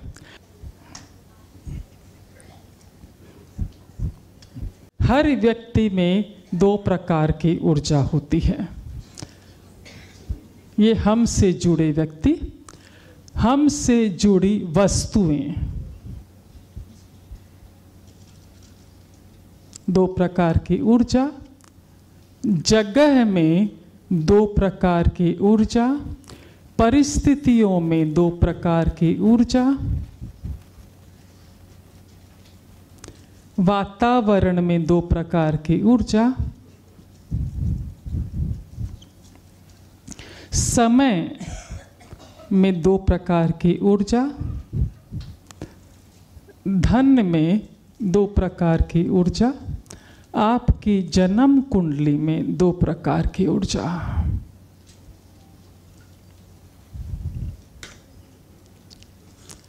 ये पॉजिटिव ऊर्जा हाँ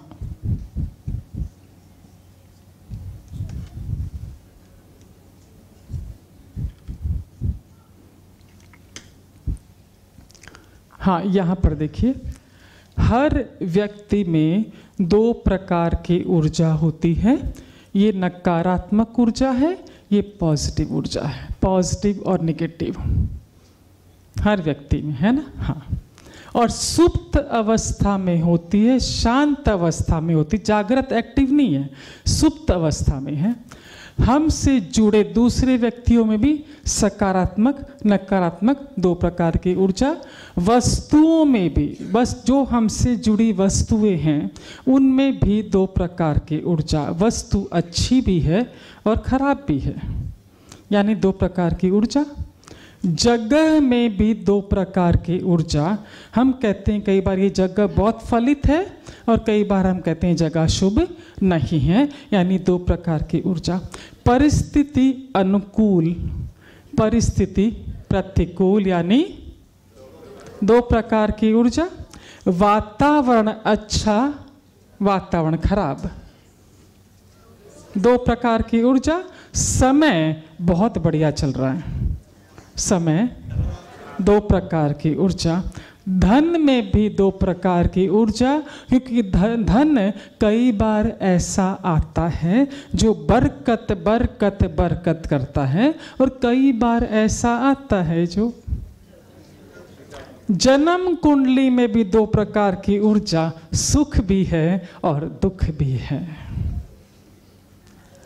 इतना समझा? आप देखिए जरा। ये चीज़ बतो विज्ञान कहता है, ध्यान से सुनना है। विज्ञान कहता है कि हमारे शरीर के भीतर 70 से 80 प्रतिशत बीमारियाँ नकारात्मक विचारों के माध्यम से प्रवेश करती है। जब विज्ञान ऐसा कहता है कि 70 से 80 प्रतिशत बीमारियाँ नकारात्मक विचारों के माध्यम से शरीर में प्रवेश करती है। तो नारायण शास्त्र कहता है, दावे के साथ कि जो 70 से 80 प्रतिशत बीमारियाँ नकारात्मक विचारों के माध्यम से प्रवेश कर सकती है तो ये 70 से 80 प्रतिशत बीमारियों को हम सकारात्मक विचारों के माध्यम से बाहर भी तो निकाल सकते हैं।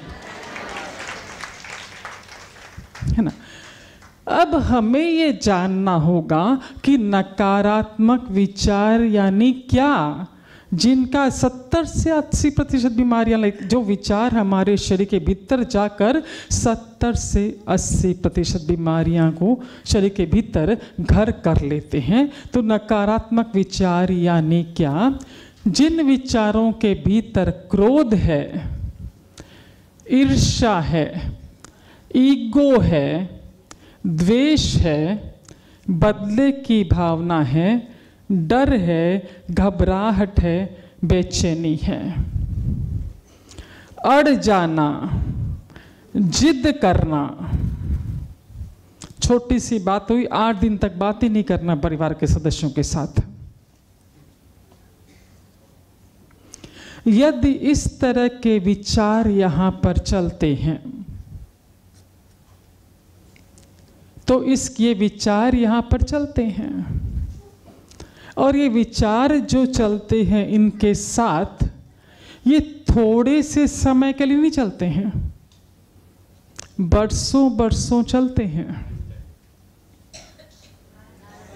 इनकी तरंगें जिससे वाइब्रेशन कहते हैं, और आजकल साइंस ने नया नाम दिया है, एसिड।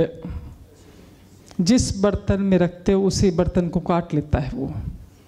ये तरंगे जाती है आपके शरीर के भीतर। और आप देखिए, जब ऐसे विचार भीतर चल रहे हैं, सबसे पहले तो चेहरे की चमक गायब होती है। सामने वाला पूछ ही लेता, क्या बात है, तबीयत ठीक नहीं है क्या? सोफिस्टिकेटेड वे है पूछने का। ऐसे कैसे पूछेंगे, ये चल रहा है क्या भीतर? ये विस्तार से जा नहीं सकते, इसके ऊपर कुछ समय सीमित है, पाँच अध्याय पूरे करने तो सार दे रहे हैं। ये तरंगे जाती है और ये जो नकारात्मक ऊर्जा हमारे शरीर के भीतर सुप्त अवस्था में है, उसे जागृत कर देती है। और धीरे धीरे ये पूरे शरीर में फैल जाती है। क्योंकि ये जो स्वभाव है, ये एक घंटा, दो घंटा नहीं रहता।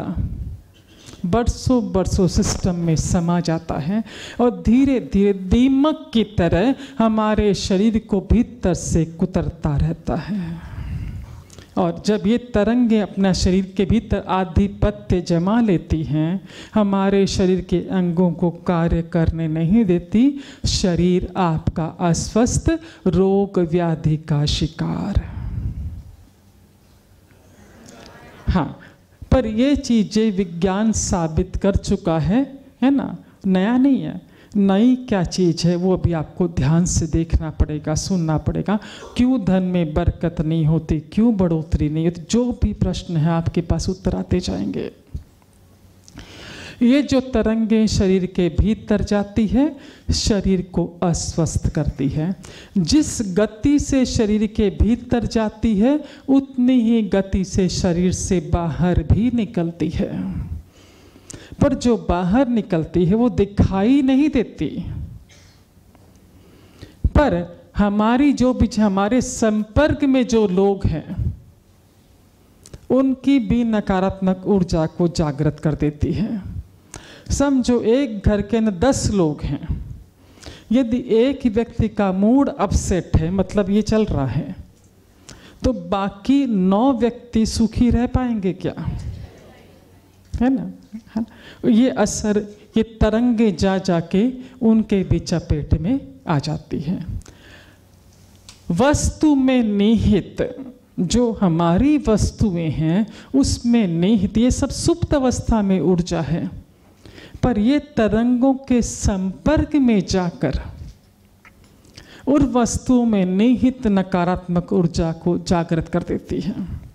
फॉर एग्ज़ाम्पल कितनी भी आपकी मन पसंद डिश हो, पिज़्ज़ा है, पास्ता पास्ता का आपको बहुत शौक है। पर मूड अपसेट में जब लेक कर आते खा के बताऊँ, स्वाद आता है क्या? उसमें निहित नकारात्मक ऊर्जा को आपने जागृत कर दिया। जगह है, जहाँ हम रहते हैं, उस जगह की भी हमारी तरंगें निकल निकल कर उस जगह की नकारात्मक ऊर्जा को जागृत कर देती है। उसका असर किस पर होता है, आगे बताते जाएँगे। पहले ये चीज़ों को समझ लीजिए। जब ये व्यवहार आपका चल रहा है, परिस्थितियाँ अनुकूल होती है क्या? वातावरण अच्छा होता है क्या? सबकी हमें नकारात्मक ऊर्जा को जागृत कर लिया। समय कैसा चल रहा होता उस वक्त? धन, जब ध्यान से सुन लीजिए इस बात को। जब आप ऐसा व्यवहार करते, हमने आपसे कहा था कि पासबुक की चर्चा आपके हर चैप्टर में होगी, हर अध्याय में होगी। जब आप ऐसा व्यवहार करते हैं, विज्ञान कहता है कि आपका तन अस्वस्थ होता है। नारायण शास्त्र कहता है कि सबसे पहला असर आपके धन पर होता है। धन आपसे दूर जाने के रास्ते खोजता है। करके देख लीजिएगा। धन की बिनाकात्मक ऊर्जा जागृत, धन दूर जाने को दिखता है। और ऐसे में आप सुखी होते हैं क्या दुखी होते हैं? जो जन्म कुंडली में निहित दुख को आपने ऊपर कर लिया। जब आप ऐसा व्यवहार करते हैं, आप देखिए, आपसे जुड़ी हर चीज़ की नकारात्मक ऊर्जा जागृत हो गई। ऐसे में आप सुख, शांति, समृद्धि ये आपके दरवाजे पर खड़ी रहती है। पर आप नो एंट्री का बोर्ड लगा देते हैं इनके लिए।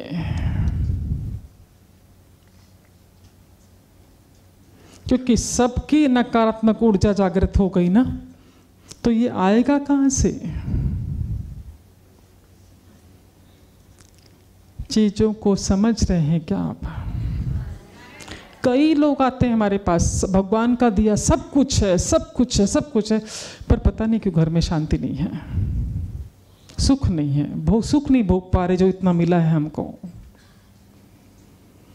तो क्या? आपका व्यवहार जिम्मेदार है। इतना समझा क्या? है ना? तो ये स्वभाव हमें अपना रोकना होगा। चलें आगे। हाँ।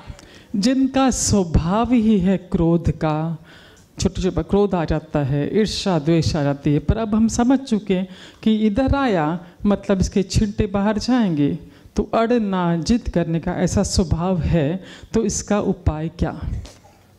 नारायण शास्त्र का एक मंत्र आपको दे दे रहे हैं, लिख लीजिए जरा सा। और इसका चमत्कार फिर देखिए। कि जिस सुख, शांति, समृद्धि के पीछे हम भाग रहे थे, अब वो हमें ढूंढती हुई आएगी। नारायण आपके आशीर्वाद से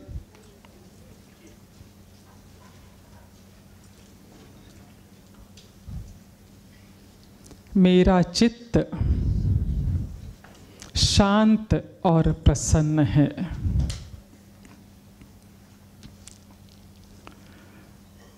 नारायण, आपके आशीर्वाद से मेरा चित्त शांत और प्रसन्न है, आपका धन्यवाद है।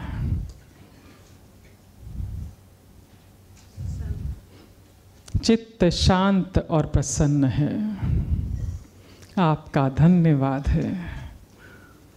बस ये छोटा सा मंत्र है।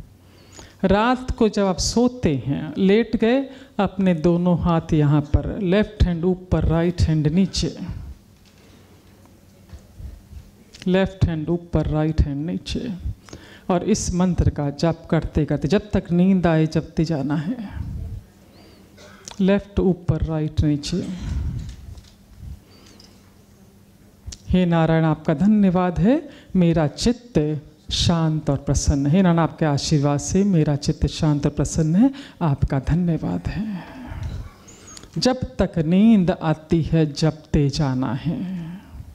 ये उतना ही प्रभावशाली है जितना आपका गायत्री मंत्र है या दूसरे आपके जो गुरु मंत्र है, उसके बराबर का है। जपना है। नारायण शास्त्र का मंत्र है। अब चलते हैं तीसरे अध्याय की ओर।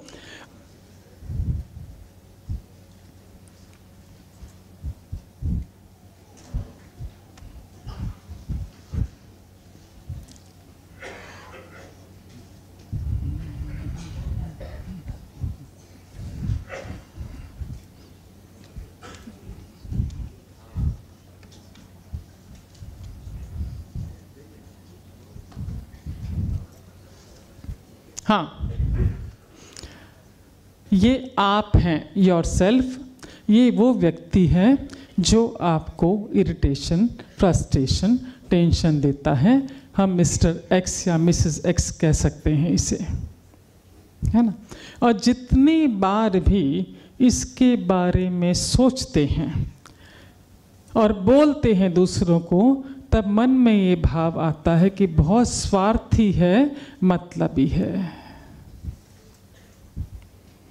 जितनी बार भी इसके बारे में सोचते हैं या चर्चा करते हैं, स्वार्थी है मतलब ही ये शब्दों का उच्चारण तो हो ही जाता है है ना? हमने इसके लिए किन शब्दों का उच्चारण किया?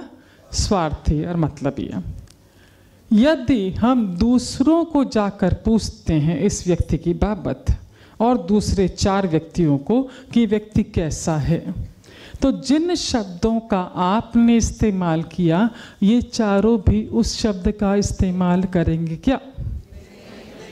ये कह सकते हैं, तुम्हारा बहुत बड़ा शुभ चिंतक है। ऐसा आदमी, देवता जैसा आदमी, कभी आज तक हमने ऐसा आदमी देखा ही नहीं। इतना अच्छा व्यक्ति है। अब व्यक्ति एक है, हमारी राय अलग है, इनकी राय अलग है। अब हमारी राय इनके बारे में ऐसी कैसे बनी? है ना? जब हम इससे मिले, इसने ऐसा कुछ कहा या ऐसा कुछ किया जिससे हमें हर्ट हुआ, दुख पहुँचा। इसने ऐसा कुछ कहा कि हमें दुख पहुँचा। जब हमें दुख पहुँचा, हमने जाकर उससे कहा, क्या? कि आपका ये व्यवहार हमें दुख पहुंचाता है? नहीं कहा, है ना?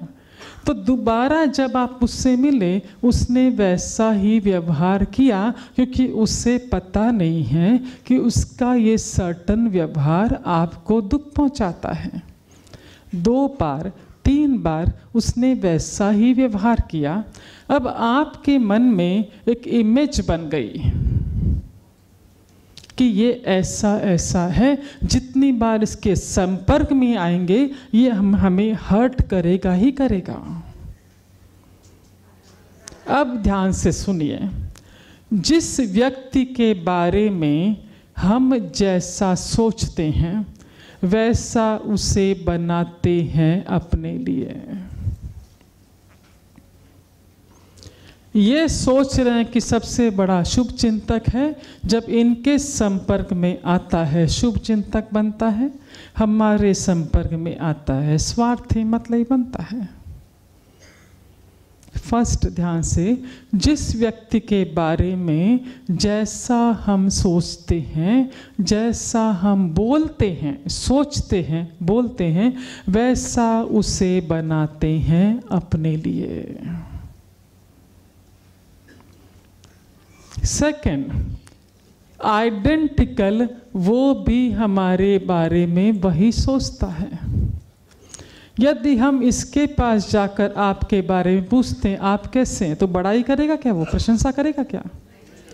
जिन शब्दों का आपने इस्तेमाल किया, घुमा फिरा कर, उन्हीं शब्दों का वो भी इस्तेमाल करेगा। तीसरा जब हम निरंतर इसका चिंतन करते हैं, स्वार्थी है मतलब ये, धीरे धीरे हम भी स्वार्थी और मतलबी बनते जाते हैं। देखिए ना, हम किसी के थोड़ा सा भी करते हैं, एक बार करते हैं, दो बार करते हैं, यदि वहाँ से धन्यवाद नहीं आया, आइंदा मुझे भी कुछ नहीं करना है। बजाय हमारी अच्छाई उस पर हावी होती, उसकी बुराई हम पर हावी होती है। आज से इसके लिए मैं कुछ भी नहीं करने वाला, कुछ भी नहीं करने वाली। तो धीरे धीरे हम भी बनते जाते हैं स्वार्थी और मतलबी। आप जैसे होते हैं, वैसे ही लोगों को अपनी ओर आकर्षित करते हैं। हम जैसे होते हैं, वैसे ही लोगों को हम अपनी ओर आकर्षित करते हैं। यदि हम स्वार्थी और मतलई बन गए तो हम कैसे लोगों को अपनी ओर आकर्षित करेंगे? जो स्वार्थी है, मतलबी है। एग्ज़ाम्पल के माध्यम से ताकि चीज़ें आपको समझने में आसानी हो। देख एक तो पहली बात तो मारवाड़ी समाज में ड्रिंक सर्व नहीं होता, पर आजकल जरा सा चल रखा है, रीत चल रखी है, ड्रिंक सर्व होते हैं कहीं कहीं जगह, पर ओपनली नहीं करते हैं, छोटा सा काउंटर किसी कोने में लगा देते हैं, बराबर है ना है ना? हाँ। तो जो पीने वाला होता है, और उसे मालूम है कि इधर मिलने वाला है तो वो गेट में से अंदर जब एंटर करता है, गेट में से झांकता है। काउंटर किधर है? है ना? और मालूम पड़ा उधर काउंटर है, पहुँच गया। ग्लास हाथ में ले लिया, पीना शुरू कर दिया। पीते पीते भी ध्यान गेट पर रहता है, कौन आया? नज़र रहती गेट पर। और जो नया जो नया व्यक्ति आया है गेट पर, वो मित्र है, परम मित्र है। यदि वो पीता है, जो दोस्त आया है एंटर किया यदि पीता तो उसको अरे आजा आजा आजा इधर आजा और जो आया है, वो मित्र है, पर वो पीता नहीं है। हिम्मत है क्या उसको बुलाने की? देख कर भी अनदेखा कर देंगे, देखा ही नहीं तुझको तो। अनदेखा पीट पीट कर लेते हैं। और जो आया है, वो पीता नहीं है। और वो तो ध्यान तो सब जगह जाता है ना। उसने देखा कि जिस मित्र से बहुत ज़रूरी काम है, पर तो पीने वाले काउंटर पर खड़ा है। वो वहाँ नहीं जाएगा। बोला, वहाँ से फारिग हो, बाहर निकले तो जाऊँगा। कितना भी ज़रूरी काम है, वो उस काउंटर पर नहीं जाने वाला। निश्चित है क्या? निश्चित है। तो हम जैसे होते हैं, वैसे ही लोगों को हम अपनी ओर आकर्षित करते हैं। हमने देखा ताश खेलने वाले लोगों की खासियत। जब शादी विवाह के दौरान देखते हैं, ऐसे तो काम नहीं पड़ता। जब फेरे लास्ट एक दो बजे के होते हैं तो जो बेचारे बहू लेने के लिए खड़े होते हैं तो उनको बारातियों को वेट करना पड़ता है कि फेरे विदा परानी हुए तो लेके जावे। अब टाइम पास कैसे करें? दो ढाई घंटा। तो ग्रुप बनता है ताश खेलने वालों का। राउंड बैठ गए, ताश खेलना शुरू किया। जो नहीं खेलता है, वो अलबत्ता तो वहाँ जाता ही नहीं है। है ना? और यदि खुदा न खास्ता चला गया देखने के लिए तो पाँच मिनट के ऊपर टिकता नहीं है। और यदि पाँच मिनट के ऊपर टिक गया तो उन लोग भगा देते हैं। तेरा काम नहीं आता जो है ना? तो हम जैसे होते हैं पियक्कड़ है तो वैसे लोगों को जमा करेंगे, ताश खेलने वाले हैं तो वैसे लोगों को नज़दीक लाएँगे। हम सत्संगी हैं, इसलिए देखिए कितने सत्संगी लोगों को जोड़ रखा है यहाँ पर हाँ।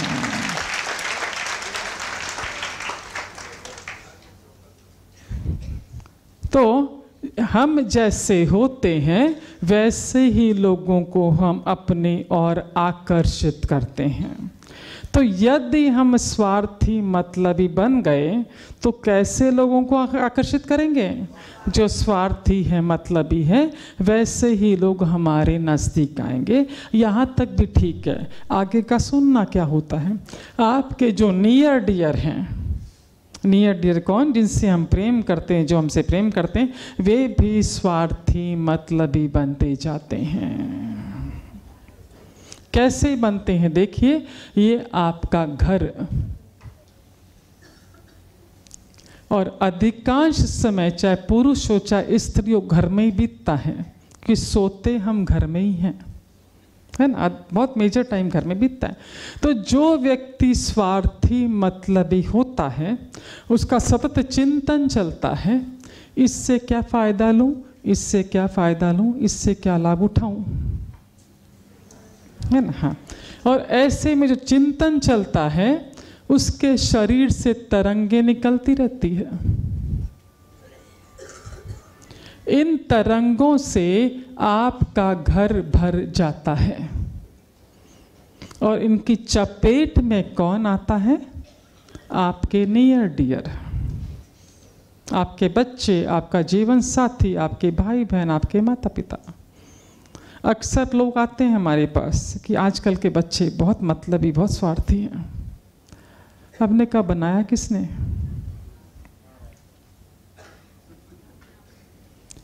तो आपको चलेगा क्या ये? नहीं चलने वाला। तो क्या करना होगा? ये जो निरंतर हमारा चक्र चल रहा है, ये स्वार्थी है मतलब ये ऐसा है ऐसा है। इस साइकिल को रोकना होगा। कैसे अब करवाएँगे? आँखें बंद कर लीजिए।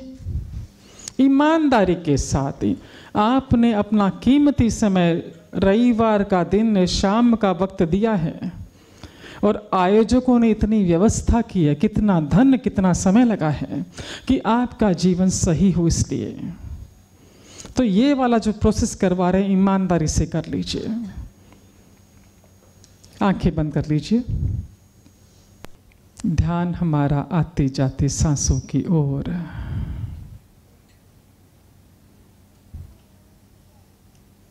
और एक कल्पना कीजिए कि आपकी आँखों के ठीक सामने वो व्यक्ति बैठा है जिसके बारे में हम अब तक कह रहे थे, स्वार्थी है मतलब ही है सबसे पहले उनसे मन ही मन माफ़ी मांगे कि आज तक मैं आपसे माफ़ी चाहता हूँ, चाहती हूँ। I am very very sorry आज तक हमने आपके बारे में गलत कहा, गलत सोचा। आप तो मेरे सबसे बड़े शुभ चिंतक हैं वेल विशर हैं। I love you I like you I respect you उनसे कहें, माफ़ी मांगने के बाद उनसे कहें I love you I like you I respect you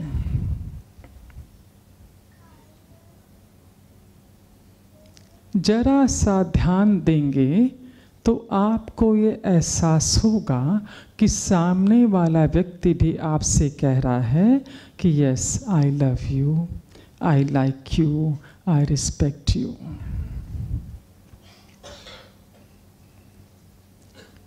यदि सामने वाला व्यक्ति आपसे उम्र में बड़ा है तो मन ही मन चरण स्पर्श कर लीजिए। आपके बराबरी का है, आपसे छोटा है तो गले मिल लीजिए। I love you I like you I respect you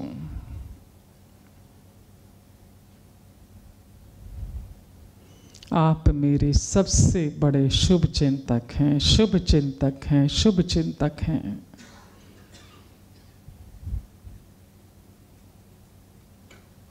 अब धीरे धीरे उन्हें अपने से अलग करें।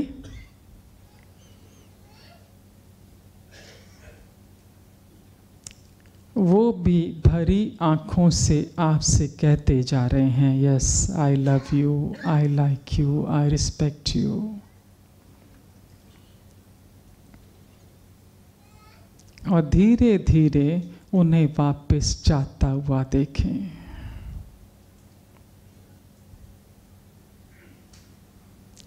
जब आपको ये एहसास हो कि वो आपकी आँखों से ओझल हो गए हैं, तब अपने दोनों हाथों को रगड़े, अपनी आँखों पर, अपने चेहरे पर, अपने पूरे शरीर पर घुमाएँ।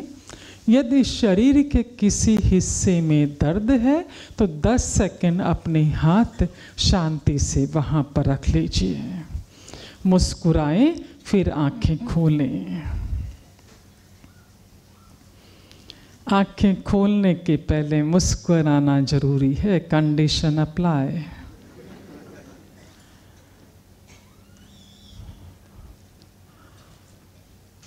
कैसा लग रहा है? नारायण नारायण नारायण. हाँ एक ने बोला तो बस हो गया। है ना? जब आप कहते हैं वो मेरा शुभ चिंतक है, शुभ चिंतक है, शुभ चिंतक है, आपको पता है क्या होता है? ईको होता है। तो न सिर्फ़ आपका ये मैसेज कि शुभ चिंतक है, उस तक पहुँचता है, बल्कि आपसे जुड़ी हर चीज़ पर असर।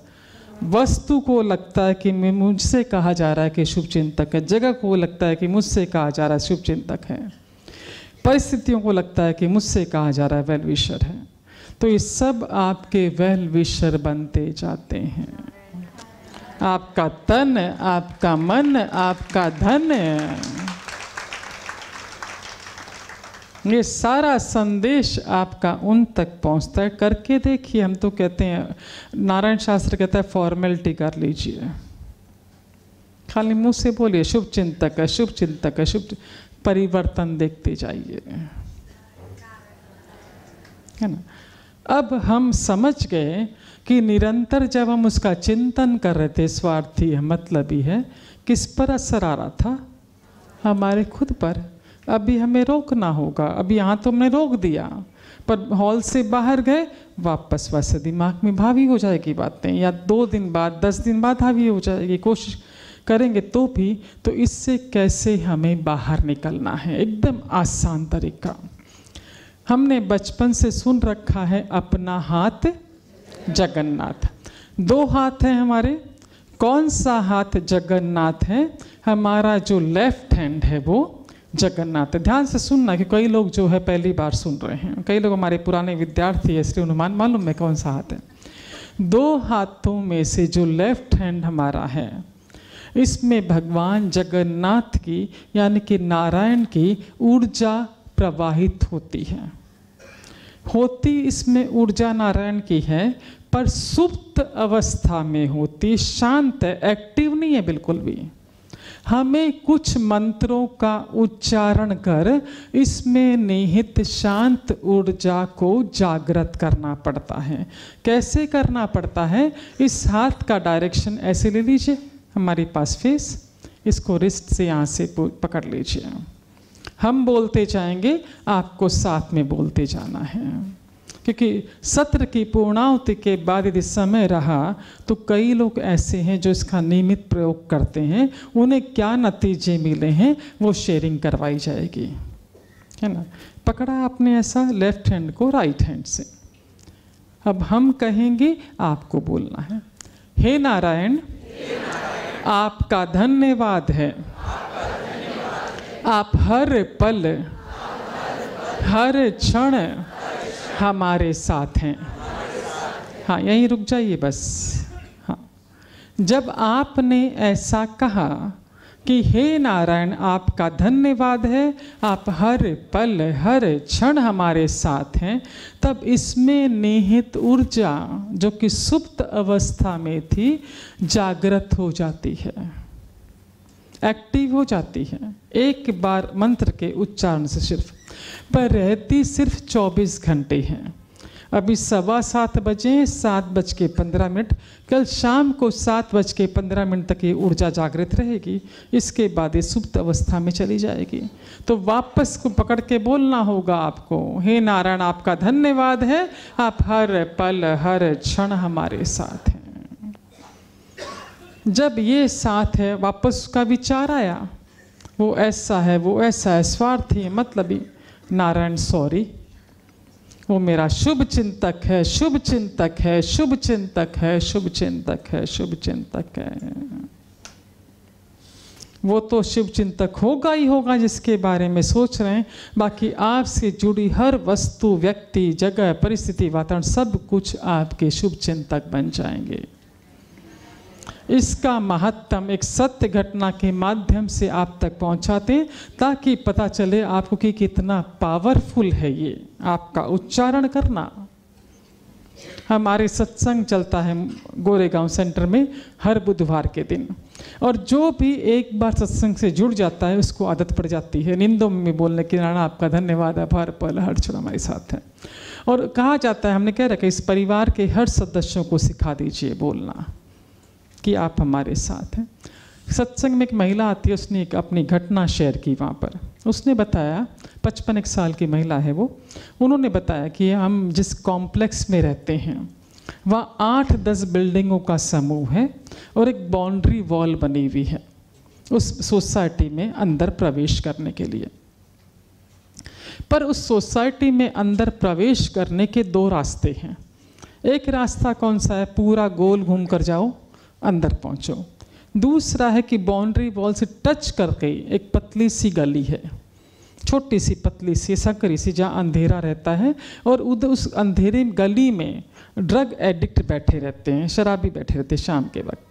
तो परिवार के सदस्यों को कहा गया था कि गली छोटी सी आठ दस कदम की है, पर वहाँ चूँकि ड्रग एडिक्ट बैठे रहते हैं तो उस गली से किसी को भी आना जाना नहीं करना है। घर में आना है तो पूरा गोल घूम कर ही घर के भीतर प्रवेश करना है, ये व्यवस्था। एक दिन की बात, इनकी 20 साल की लड़की, बेटी, रात के 9 बजे थे, कॉलेज से आ रही थी, बेहद थकी हुई थी। अब पूरा गोल घूम कर जाने का मन नहीं था। अब रास्ता कौन सा? पतली सी गली, जो पाँच सात कदम पार करके जाना। अब हमारे तो सिस्टम में आ गया ना, जरा सा कुछ हुआ तो नारायण आपका धन्यवाद है, आप हर पल फॉर्मेलिटी करते हैं, पर वो हकीकत मान लेता है। है ना? उसने गली में प्रवेश करने के पहले अपना हाथ पकड़ा। हे नारायण, आपका धन्यवाद है, आप हर पल, हर क्षण हमारे साथ हैं। और नारायण नारायण नारायण नारायण बोलती, गली के पार कर गई, घर पहुँच गई, कोई विशेष बात नहीं। घर में आने के लगभग 30-40 मिनट बाद घर का इंटरकॉम बजा। इंटरकॉम इसकी माँ ने फ़ोन उठाया। तो उस सोसाइटी में से किसी सहेली का फ़ोन था।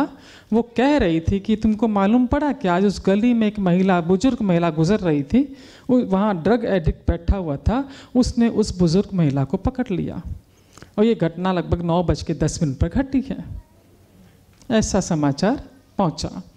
माँ ने इंटरकॉम रखा और घर में चर्चा की कि तुम लोगों को इसलिए मना करती हूँ कि इस गली में से मत आओ। आज ऐसी ऐसी घटना घट गई, देखो। नौ बज के दस मिनट पर घटना घटी है। बेटी बाजू में बैठी थी। बोली, माँ, नौ पाँच पर तो मैं उस गली से आई हूँ।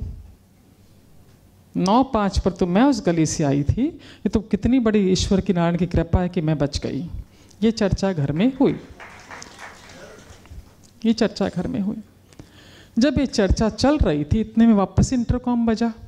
क्योंकि जब इस तरह की घटनाएँ होती फ़ोन बहुत जल्दी बसते हैं, बहुत अधिक बसते हैं। मालूम पड़ा क्या? मालूम पड़ा क्या? मालूम पड़ा क्या? अच्छा समाचार तो जल्दी से नहीं मिलता। तो दोबारा जब इंटरकॉम बजा तो जो सोसाइटी का सेक्रेटरी है, उसकी पत्नी का फ़ोन था। उसने वापस इनसे पूछा कि आपको मालूम पड़ा क्या भाभी जी ऐसा ऐसा उस गली में हो गया? तो इसने कहा, वो भी मुझे मालूम पड़ा और नौ बज के पाँच मिनट में मेरी बेटी भी उस गली से आई थी। भगवान का शुक्र है कि वो तो बच गई। ये चर्चा उन आपस में हुई। ये चर्चा होने के बाद फ़ोन रखा गया। जो सेक्रेटरी की वाइफ ने फ़ोन किया था, उसने अपने पति से जस्ट कहा कि, देखो, नौ बज के दस मिनट पर बुज़ुर्ग मलका महिला गई थी, उसको पकड़ा और नौ पाँच पे फलाने की बेटी वहाँ से गई थी, उसको किसी ने टच नहीं किया। और मालूम पड़ा था कि वो ड्रग एडिक्ट शाम को सात बजे से वहाँ बैठा हुआ था। जब सेक्रेटरी को इस घटना का पता चला, उसने झट चप्पल पहनी, पुलिस स्टेशन गया। कि कहीं षड्यंत्र तो नहीं हुआ ना, कि जवान लड़की पाँच दिन पहले उस गली से निकली है, उसको नहीं छेड़ा और बुज़ुर्ग महिला को छेड़ रहा है। ऐसा क्यों? किसी ने जानबूझ के तो वहाँ नहीं बिठाया ना उसको। स्टेशन पे जहाँ वो ड्रग एडिक्ट बैठा हुआ था, बंदी था, वहाँ पहुँचा, उसको दो चार थप्पड़ मारे और पूछा कि तुमने जिस महिला को छेड़ा, उस महिला के पाँच मिनट पहले जवान लड़की उस गली से गई थी। उसको तुमने हाथ नहीं लगाया? उसको क्यों छोड़ा? तुम किसने भेजा था तुम इस गली में? ड्रग एडिक्ट भयंकर नशे में था, मारा भी था उसको पुलिस ने। उस नशे में उसने कहा कि हाँ पाँच मिनट पहले एक जवान लड़की गई थी, सुंदर लड़की गई थी गली से, पर उसे मैं कैसे पकड़ता? उसके साथ में कोई था। हे नारायण, आपका धन्यवाद है। आप हर पल, हर क्षण हमारे साथ हैं। आपको डर लगता है रोड क्रॉस करने में? पकड़ लीजिए और क्रॉस कर जाइए। कोई भी आपको टच नहीं कर सकता। कोई भी अभी लेटेस्ट घटना बता रहे हैं, सत्संग में किसी ने शेयर किया था कि शेयर ऑटो चलता है, शेयरिंग वाला ऑटो चलता है तो महिला बैठी रिक्शे में, उसके बाद लाइन से जो भी बैठा होगा, उसको बैठने पड़ता ही है। बगल में दो जेंट्स आकर बैठ गए। और करना शुरू किया, थोड़ा सा इधर हाथ वाथ छेड़ना शुरू किया।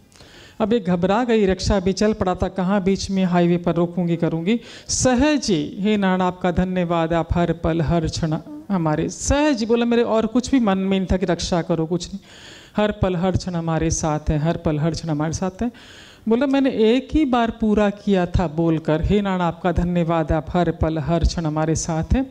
जो बगल में ऐसे से जो कर रहा था, यहाँ से हाथ चल रहा था, वो जरा सरक गया। रिक्शे में जगह कितनी? बहन जी, आपको तकलीफ़ तो नहीं हो रही? This this is this is मेरा इस तथ्य क्षण है। बोला, एक बार कंप्लीट किया और वो मुझसे कहता है कि, बहन जी, आपको तकलीफ़ तो नहीं और बोला, उतना समेट समेट के पूरे रास्ते तक सरकता सरकता बोला, सुरक्षित पहुँचा दिया नारायण नारायण नारायण नारायण नारायण। अब तो बता दो कैसा लग रहा है? हाँ। हाँ। शरीर हल्का लग रहा है क्या? भूख लगी क्या? बोल रहे क्या शुरुआत करवाने के लिए भोजन की? चौथा अध्याय। जो चौथा अध्याय नारायण शास्त्र का आप तक पहुँच रहा है, हम तो ये कहेंगे कि पाँच में से सिर्फ़ इस पर काम कर लीजिए। चौथे अध्याय पर काम कर लीजिए। हकीकत में तत्क्षण नतीजे, हकीकत में आप बैठे बैठे देख लीजिएगा। चौथा अध्याय वेरी पावरफुल बहुत सरल प्रयोग करने में और सबसे अधिक बेनिफिट देने में आपका ये चौथा अध्याय सबसे अधिक फ़ायदा करता है आपको ये। और आप फटाफट एग्री भी होते जाएँगे कि हाँ इस बात से हम सहमत हैं सहमत हैं सहमत हैं। हाँ इस शरीर से जितनी भी चीज़ें बाहर निकलती है, सब गंदगी है, गंदगी। वात, पित्त, कफ, मल, मूत्र, पसीना, सब गंदगी है। एक चीज़ को छोड़कर वाणी वाणी का सदुपयोग इसे माँ सरस्वती जी की वीणा बना देता है। और वाणी का दुरुपयोग चुभने वाला बाण। सबसे अधिक दुख और सबसे अधिक सुख आप देते हैं वाणी के माध्यम से दूसरों को। वाणी के माध्यम से दिया गया दुख सबसे पहला नंबर, ताने मारना।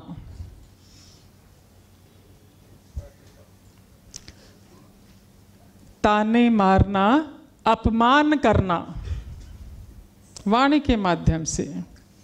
क्रोध करना, शिकायत करना, निंदा करना, गलत शब्दों का उच्चारण करना झूठ बोलना।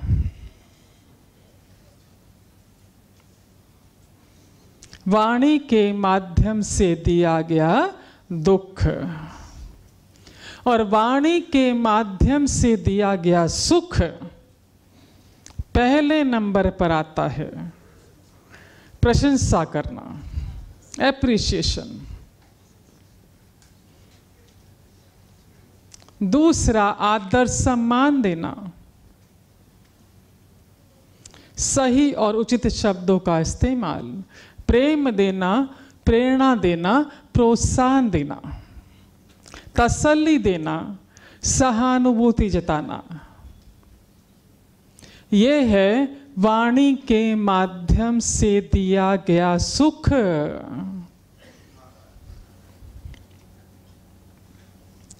लाल पेन दे जैसा जब आप इस तरह का व्यवहार करते हैं, ताने मारना, अपमान करना, क्रोध करना, हम तो कहते हैं कि आजकल सेल्फी का जमाना बहुत है।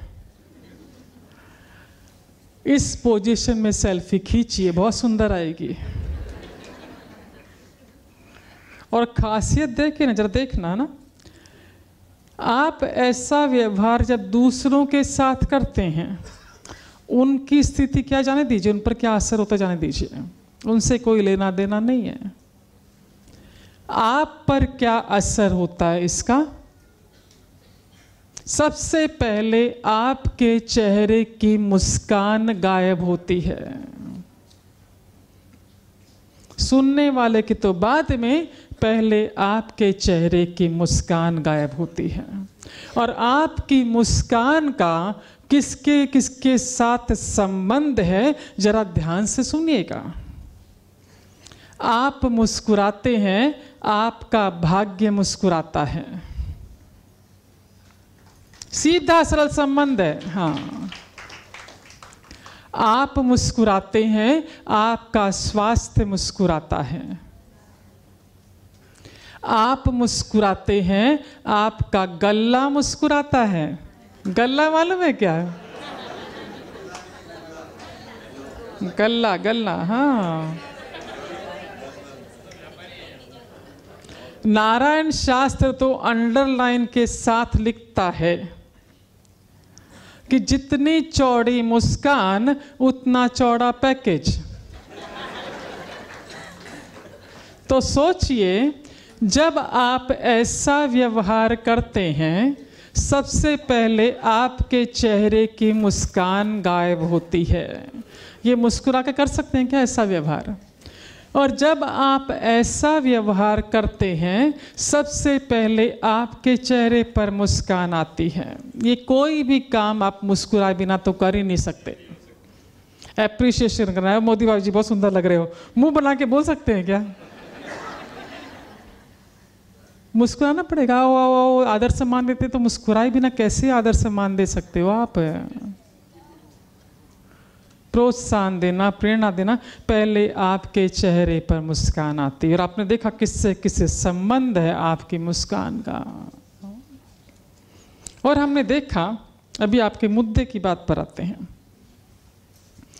अधिकांश महिलाएँ जो हमारे पास आती है 98 परसेंट महिलाएँ, उनका कॉमन प्रश्न होता है।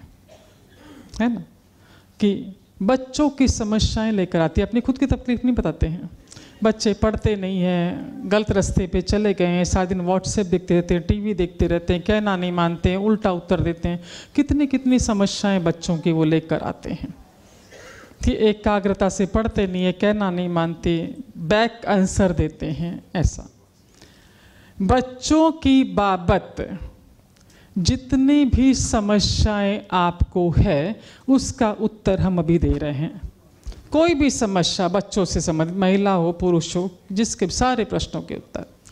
बच्चा आपका पाँच दिन का है तो पाँच महीने का है तो पाँच साल का है तो पचास साल का है तो। उत्तर एक ही आएगा आपके पास। कितनी भी समस्याएँ, जितनी भी समस्याएँ सोच लीजिए, सबका उत्तर अभी आप तक दे रहे हैं। जब हमारे पास वो महिलाएँ आती और कहती है, ऐसा है, ये बहुत टीवी देखता है, कहना नहीं मानता, उल्टा उत्तर देता है। हम चुपचाप बैठे रहते हैं, पहले तो दस पंद्रह मिनट तक इसको बोलने दो जितना बोलना है। जब वो बोल के चुप हो जाती, जब शांत हो गई, दस मिनट बीत के सारी अपनी समस्याएँ बता दी, हम हम बोलना शुरू करते हैं उसके बाद, उसका सुनने के बाद। पहला प्रश्न हमारा होता है कि आपको क्रोध आता है क्या? उससे महिला से पूछते हैं क्रोध आता है, क्या बुलाता है? इंसान है तो आएगा ही। तो हम पूछते फिर हम उनसे पूछते हैं कि क्रोध में क्या करते हो? जब गुस्सा आता है तो क्या करते हो? मन में आया वैसा बोलती हूँ। मुझे होश ही नहीं होता मैं क्या बोलती हूँ। तो पहली बात तो ये कि मन चाहा बोलोगे तो अनचाहा सुनना भी पड़ेगा। समझ के चलिए। है ना? अब होश होता नहीं, हम गुस्से में क्या क्या बोल जाते हैं। है ना? अभी ध्यान से देखना, आपका गुस्सा कहाँ पर कार्य करता है। ये स्थान किसका है जहाँ से वाणी बाहर निकलती है? कि क्रोध में इसका इस्तेमाल करते हैं ना सबसे अधिक? ये स्थान किसका है? माँ सरस्वती माता का। हमें ये देखकर बड़ा आश्चर्य होता है कि हमने कई बार, क्योंकि जब व्यासपीठ पर से बोलना तो शास्त्रों का गहन अध्ययन तो चाहिए ही ना, उसके बिना तो कैसे व्यासपीठ पर खड़े होकर बोल सकते हैं? कई शास्त्रों में हमने पढ़ा है कि इस मनुष्य देह के भीतर तैतीस करोड़ देवी देवता निवास करते हैं। है ना? तो कितने थर्टी थ्री सुना है ना हमने भी सुना। पर मालूम नहीं कि कौन सा देवता कहाँ निवास करता है। नहीं एड्रेस नहीं मालूम। खाली माँ सरस्वती जी का एड्रेस सबको मालूम है। किसी को भी, इतने को पूछो तो इतने को पूछो। तो ये ये एड्रेस किसका है? यहाँ कौन रहता है? तो माँ सरस्वती रहती अब ये स्थान किसका है? माँ सरस्वती जी का। जब हम वाणी से गलत शब्दों का उच्चारण करते हैं क्रोध करते हैं चीखते हैं चिल्लाते हैं और माँ सरस्वती बुद्धि की देवता है वो आपके बच्चों को आशीर्वाद कहाँ से देगी? हाँ, इसको बोलते पिंट ऑफ़ साइलेंस। समझा क्या?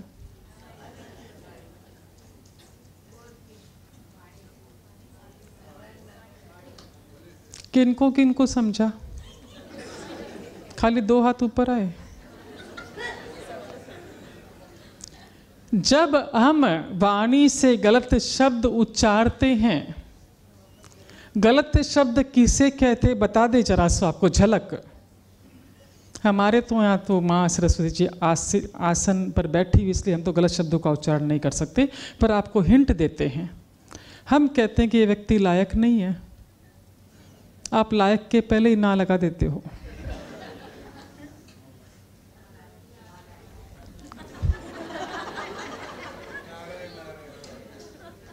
समझा क्या? तो जब बच्चों के लिए आप इस शब्द का इस्तेमाल करते हैं, वो साबित कर देता है कि हाँ आपने कहा, मैं वैसा बन के दिखाऊँगा।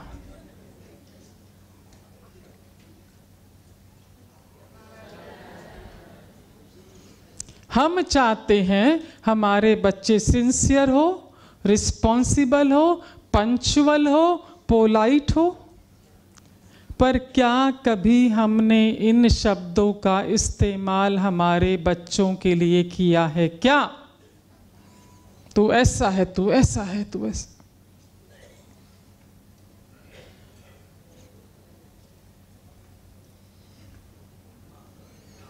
यह भी निश्चित है कि 24 घंटा बैठकर पढ़ाई बच्चे नहीं कर सकते हैं। कर सकते हैं क्या? है ना? पढ़ते पढ़ते यदि वो कहता है आपसे आके कि आधे घंटे का ब्रेक चाहिए, टीवी देख लूँ क्या? रिलैक्स हो जाने के लिए? मुझे मालूम है तो दो घंटे के पहले उठने वाला नहीं है।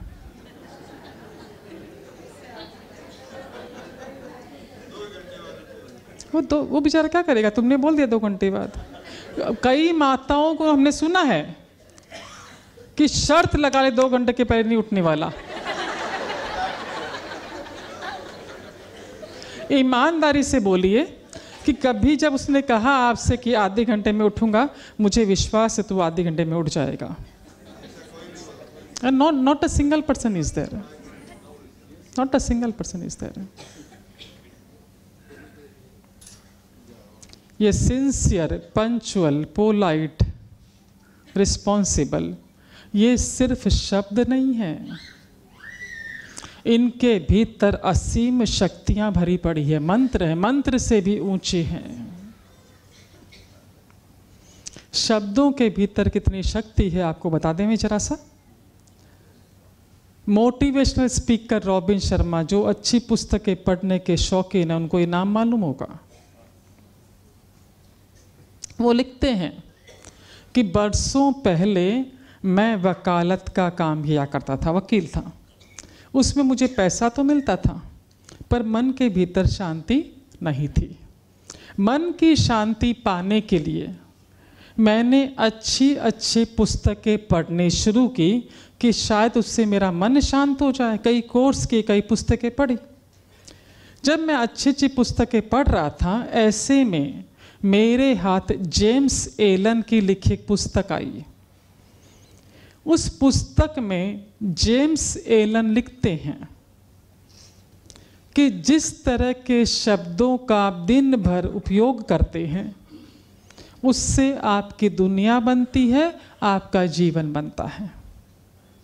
रॉबिन शर्मा कहते हैं कि जब मैंने ये लाइन पढ़ी कि जिन शब्दों का आप इस्तेमाल करते हैं दिन भर में, वैसे आपका जीवन, वैसी आपकी दुनिया बनती है। मुझे बड़ा आश्चर्य हुआ कि क्या शब्दों में इतनी शक्ति है कि मेरा जीवन बना दे, मेरी दुनिया बना दे।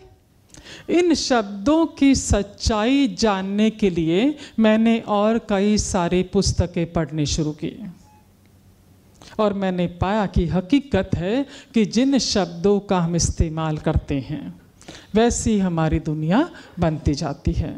रॉबिन शर्मा लिखते हैं अंडरलाइन के साथ कि उस क्षण से, उस दिन से नहीं, उस क्षण से मैंने सही और उचित शब्दों का इस्तेमाल करना शुरू किया। मैं कहाँ था?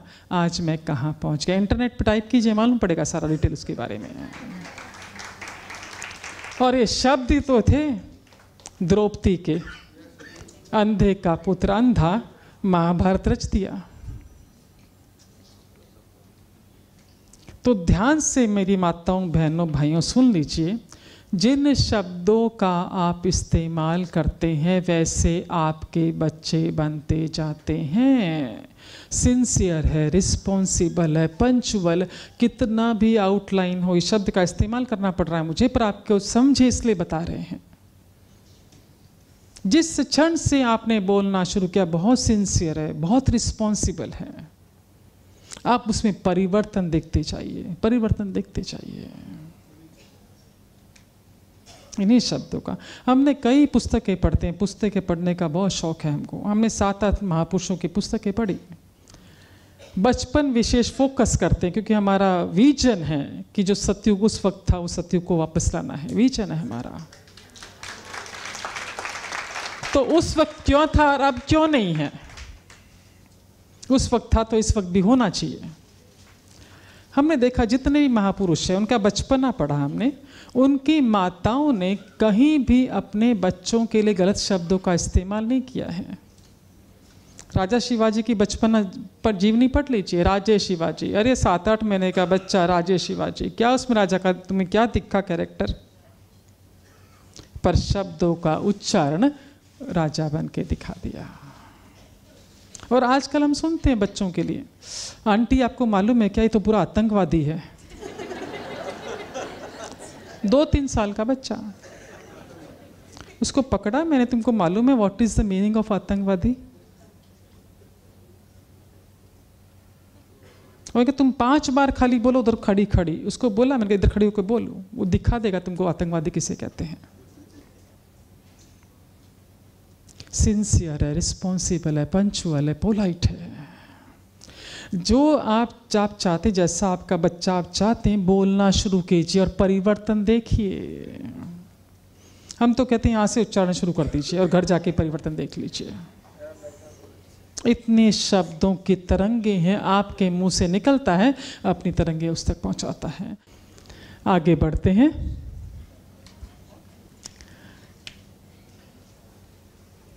जैसे महिलाएँ अपनी समस्या लेकर आती हैं, बच्चों से संबंधित। उनकी अधिकांश समस्याएँ बच्चों के इर्द गिर्द घूमती हैं और जो भाई लोग आते हैं, उनकी दो समस्या बेचारे अलर्ट हो गए सारे। अपनी हेल्थ के लिए बहुत कम जेंट्स आते हैं हमारे पास, की तबीयत ठीक नहीं तो क्या इलाज करें, है ना? पर विशेष काम के लिए आते हैं। पहला तो उनका एक प्रश्न होता है कि मैं इतनी मेहनत करता हूँ, इतनी मेहनत करता हूँ, फिर पता नहीं इतना रिटर्न नहीं मिलता। तो ऐसा कोई उपाय बताइए कि रिटर्न मिले। दूसरा उनका प्रश्न होता है कि जगह जगह मेरे पैसे फंसे पड़े, अटके पड़े हैं। तो उनको निकागले ने नियत खराब करके बैठा है, वो धन कैसे वापस आए, वो बताइए। और कई बार ये भी लेकर आते हैं समस्या कि पैसा तो बहुत आता है, पर टिकता नहीं है। है ना? तो पैसों से संबंधित जितनी भी समस्याएँ हैं, जितनी भी है, जितनी भी, जितनी पैसों की बरकत, पैसों की बढ़ोतरी, बिज़नेस बढ़िया चलना चाहिए, जो जो जो भी आपकी प्रश्न है, उसका उत्तर जरा सा सुन लीजिए। भाई, बहन दोनों पर लागू होता है। भाइयों के नाम से बोल रहे हैं, बाकी चीज़ें सब यूनिवर्सल है, सब पर लागू होती हैं। जब वो आकर हमसे कहते हैं कि जितनी मेहनत करता हूँ, उतना रिटर्न नहीं मिलता, उतना मान सम्मान भी नहीं मिलता, ना उतना धन मिलता है मुझे तो ऐसा कोई उपाय बताएँ? हम उससे पहला प्रश्न पूछते हैं। भाई साहब, क्रोध आता है क्या आपको? क्रोध आता है क्या? बोला, आता है। जन्म सिद्ध अधिकार है मेरा तो क्रोध करने का। क्रोध में क्या करते हैं? चीखते हैं, चिल्लाते हैं, गलत शब्दों का उच्चारण करते हैं। है ना? अभी ध्यान से सुनना है कि आपका क्रोध आपको क्या नतीजे देता है, देखिए। यहाँ से आप क्रोध करते हैं, चीखते हैं, चिल्लाते हैं। है ना? ये आसन किसका है? माँ सरस्वती का। आपकी जानकारी के लिए बता दें कि माँ सरस्वती जी की छोटी बहन है माँ लक्ष्मी। वो जब देखती है कि मेरी बहन के आसन का दुरुपयोग हो रहा है, वाणी का दुरुपयोग हो रहा है, मेरी बहन के आसन का दुरुपयोग हो रहा है, मैं वहाँ पर नहीं जाऊँगी।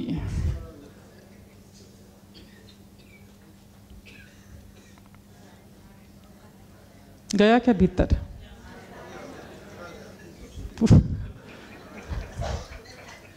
समझा बोला, समझा।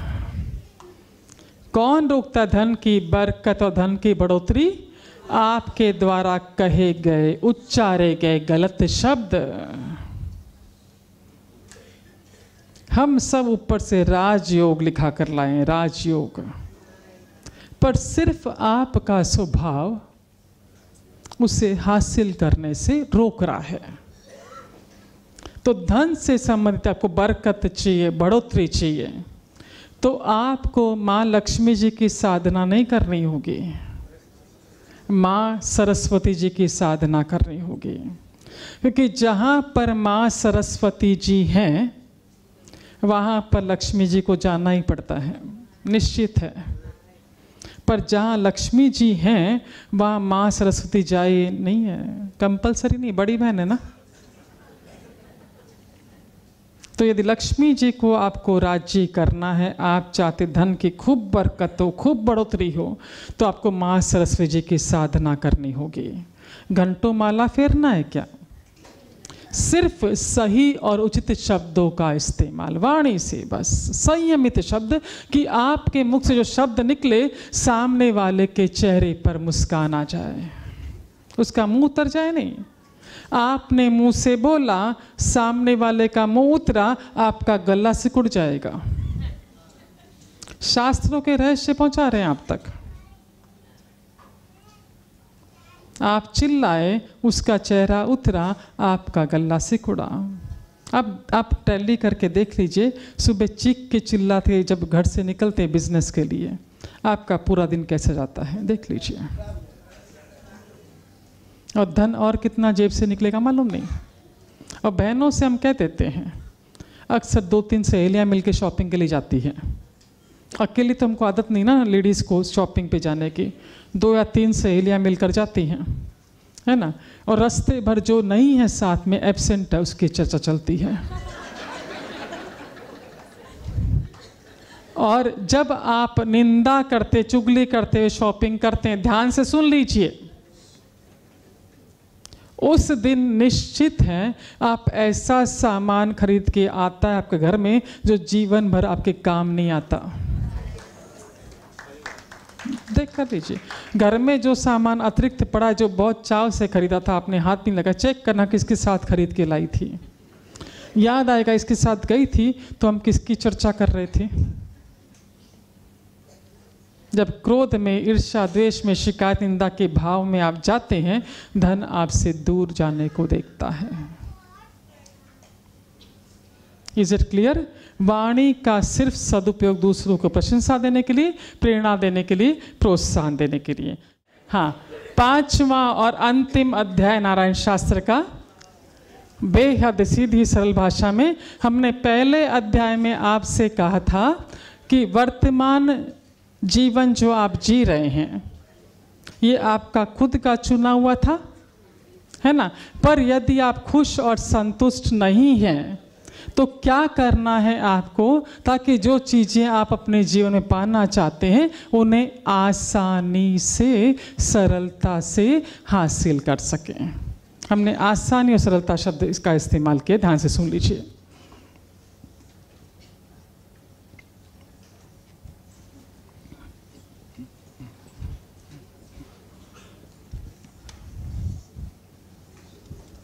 हाँ देखिए, ये आप हैं ये आपका पूरा जीवन है, ये आपका पर्सनल अकाउंट है।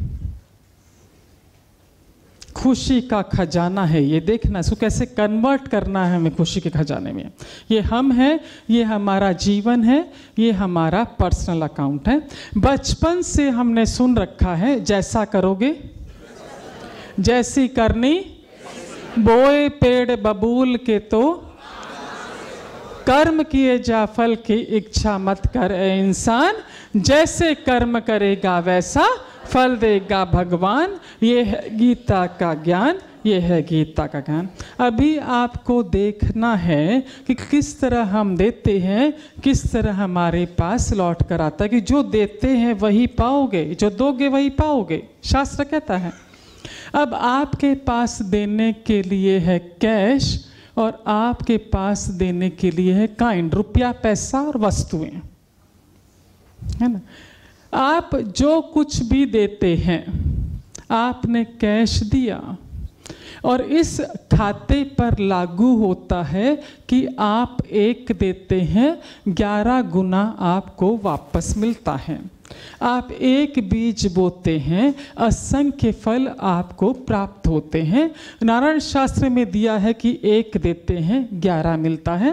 पर हम पिछले दिनों जैन मुनि संतों के साथ थे। उन्होंने हमसे कहा, जब चर्चा चल रही थी इस विषय पर, कि हम देते कर्ण भर हैं और मण भर मिलता है। जैन धर्म कहता है कि देते कर्ण भर और मण भर, क्योंकि ये खाता किसके पास है? उसके पास जमा है तो वो अपने स्टेटस के अनुसार स्टैंडर्ड के अनुसार देता है। है ना? हाँ। तो इसमें आपने कैश दूसरों को दिया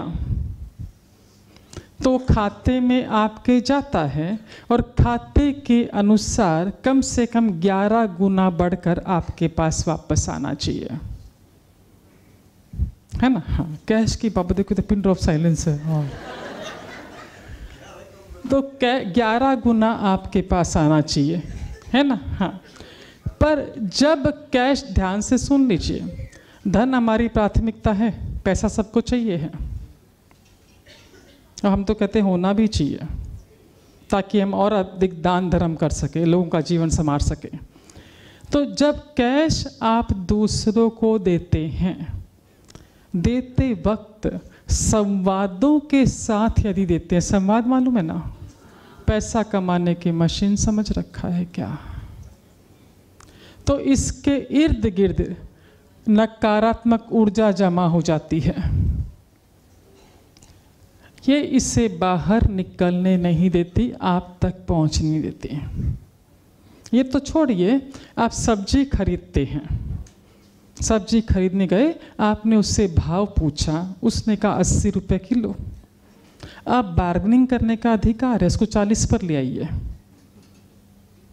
बार्गनिंग करने का आपको पूरा मोल ताव, भाव ताव करने का आपको पूरा अधिकार है। जब चालीस रुपया देने की बात आई, अस्सी का चालीस किया, चालीस देते वक्त भी कितना सुनाते हो? तुम तो लूट लिया, बहुत महँगा दे दिया। है ना? तो जब इन भावों के साथ आप देते हैं पैसा वो तो गया और अपने कितने सारे दोस्तों को ले जाएगा मालूम नहीं है। दोस्त कौन? बल्कि होना ऐसा चाहिए एटी रुपीज़ के जी बोला, आप चालीस पर आ गए। पचास का नोट थमाइए। बोले, दस रुपया अतिरिक्त लग, तेरे गले में बरकत हो, बढ़ोतरी हो। जब आपने ऐसा करके दो रुपया, तीन रुपया, पाँच रुपया अतिरिक्त दिया आपने कहा, तेरे गले में बरकत हो, बढ़ोतरी हो। वो कहता, तेरे गले में बरकत हो, बढ़ोतरी हो। हर जगह जहाँ भी देते हैं, दो पाँच रुपया एक्स हम तो कहते हैं यदि पैसों की बरकत, बढ़ोतरी चाहिए। छोटा सा बटुआ बना लीजिए। दो के पाँच के नोट अतिरिक्त रखिए। भर के सौ रुपया भी रखेंगे तो ख़त्म नहीं होने वाला, उसमें से पैसा आप देख लीजिए। सबको ऑटो में से उतरते पैंतीस रुपया, चालीस रुपया, ले भैया, पाँच रुपये तेरे तेरे गले के लिए। नारायण तेरे गले में बरकत करे, बढ़ोतरी करे। वो पचास रुपये लेके जितना खुश नहीं होता है, वो दो रुपये लेके जाता है खुश होता है, मुस्कुराता हुआ। बरकत। जितनी बार आप कहते हैं, बरकत हो, तेरे बढ़ोतरी हो, उतनी बार वो इको करता है, तेरे बरकत हो, तेरे बढ़ोतरी हो। समझा और देते वक्त बहुत महँगा दे दिया, ऐसा है ऐसा है, ऐसा तो सोच लीजिए, वैसा है वैसा है वैसा है। और कैश के एक्सचेंज में कैश ही वापस आएगा, ऐसा भी नहीं है। कैश आपने बहुत मन से दिया, और वेट कर रहे हैं, ग्यारह गुना वापस आए।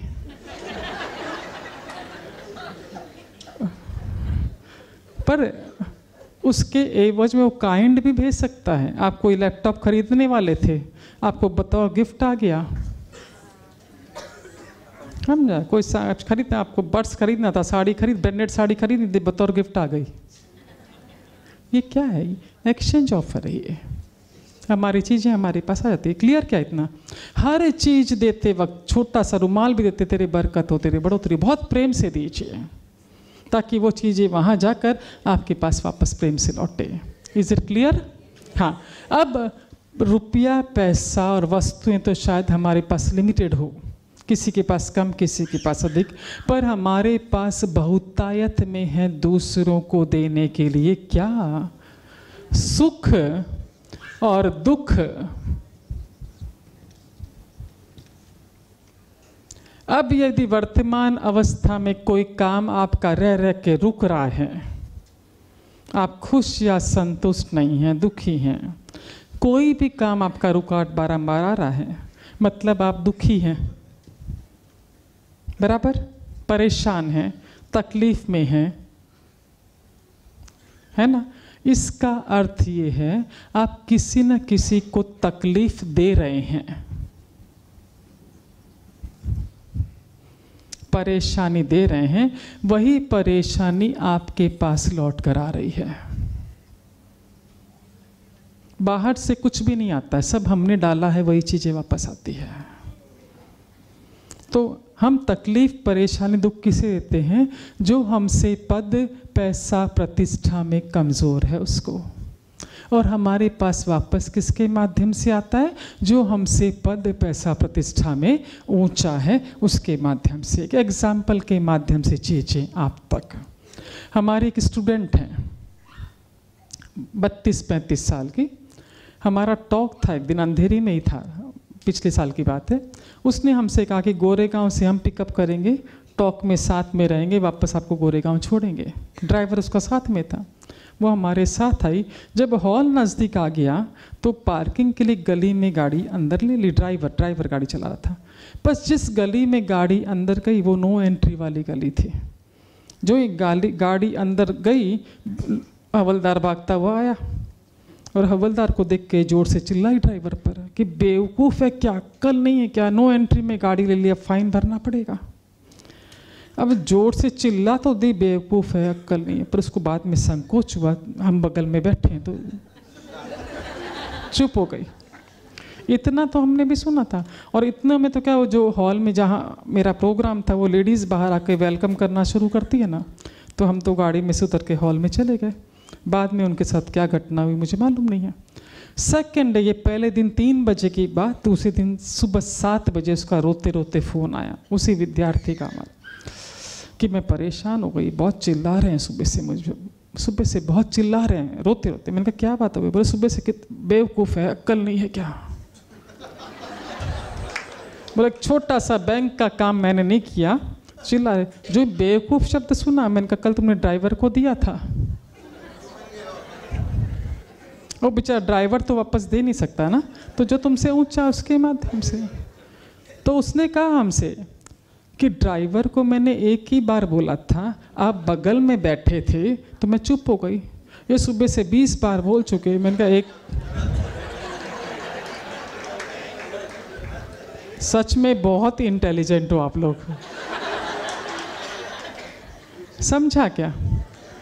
सब चीज़ें आप सोच लीजिए, जो कुछ भी आपके पास इस क्षण आ रहा है, आपका दिया हुआ है। इस खाते में से नारायण खुद कहते हैं कि राई का दाना तो आपको डालना पड़ेगा। पहाड़ में करके दे सकता हूँ, पर राई आपको, दाना आपको, बीज आपको डालना होगा।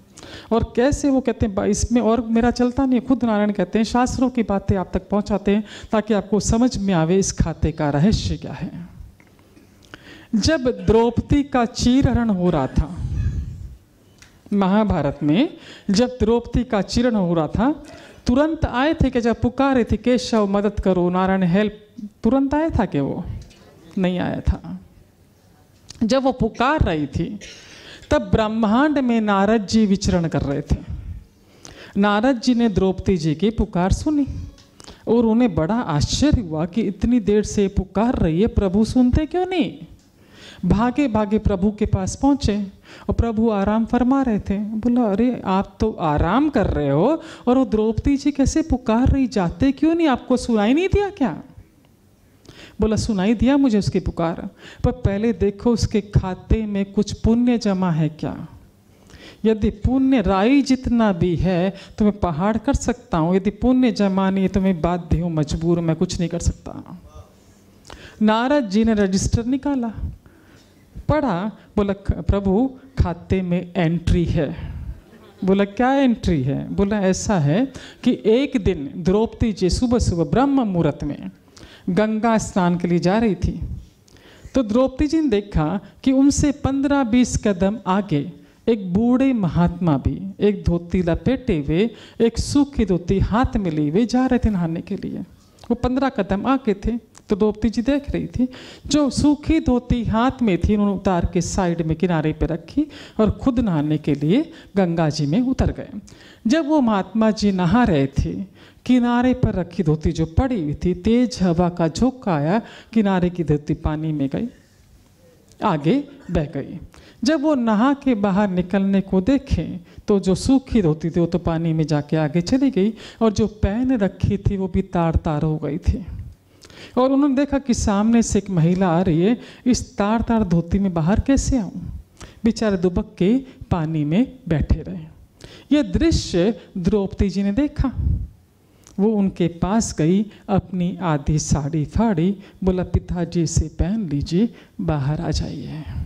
बोला, प्रभु, वो आधी साड़ी खाते में दर्ज है। बाकी सारा इतिहास है सारा इतिहास है सारा इतिहास। है तो हम तो सिर्फ़ सार बता रहे हैं आपको कि जब हमको ये पता है कि जो भी हम देंगे, वही लौट कर आएगा। है ना? तो फिर वही चीज़ें दीजिए ना जो आपको चाहिए। क्या चाहिए? आपको प्रशंसा चाहिए, प्यार, आदर, सम्मान चाहिए। हमने देखा, लोग पहले कहते थे प्राथमिकता रोटी, कपड़ा और मकान। हम कहते हैं प्राथमिकता सेकेंडरी रोटी, कपड़ा और मकान। एप्रिसिएशन सबको चाहिए है, आदर, सम्मान सबको चाहिए है। प्राथमिकता ये, प्यार से भी अधिक प्रायोरिटी एप्रिसिएशन और आदर, सम्मान की। तो जो चीज़ें आपको चाहिए है, वो आपको देनी होगी। वो खाते में जाएगी, जब भी तो आपके पास लौट कर आएगा। सीधा सा गणित, जो आपको चाहिए है, सबको सबको सबको आपको देना होगा, ताकि वो चीज़ें आपके पास लौट कर वापस आए। अभी सार, नारायण शास्त्र का सार। समझा क्या? सुख चाहिए, सुख देना होगा। किसी को भी थोड़ा सा देंगे, वापस आपके पास लौट कर आएगा। बात चल रही थी तन, मन, धन संबंधों की। अब ये हमारा पर्सनल है। तन भी मेरा है, मन भी मेरा है, धन भी मेरा है, जो हम चाहते हैं एकदम मज़बूत हो। है ना? इसका इन्वेस्टमेंट आपको आपसी संबंधों पर करना होगा। यदि ये मज़बूत करना चाहते हैं तो आज तक हमने कैश अकाउंट खोला है। पता नहीं अपने कितने काम आएगा। इस क्षण से हमें केयर अकाउंट खोलना है, जो जीवन के साथ भी और जीवन के बाद भी। तन, मन, धन जिनके साथ आप रहते हैं, जो हमारे साथ रहते हैं, या जो हमसे संपर्क में हैं, आप बेस्ट क्या दे सकते हैं? इनसे आपको देना है। अन्यथा कितना भी जिम ज्वाइन कर लीजिए, कितना भी मेडिटेशन कर लीजिए, कितना भी बड़ा बिजनेसमैन बिज़नेस कर लीजिए।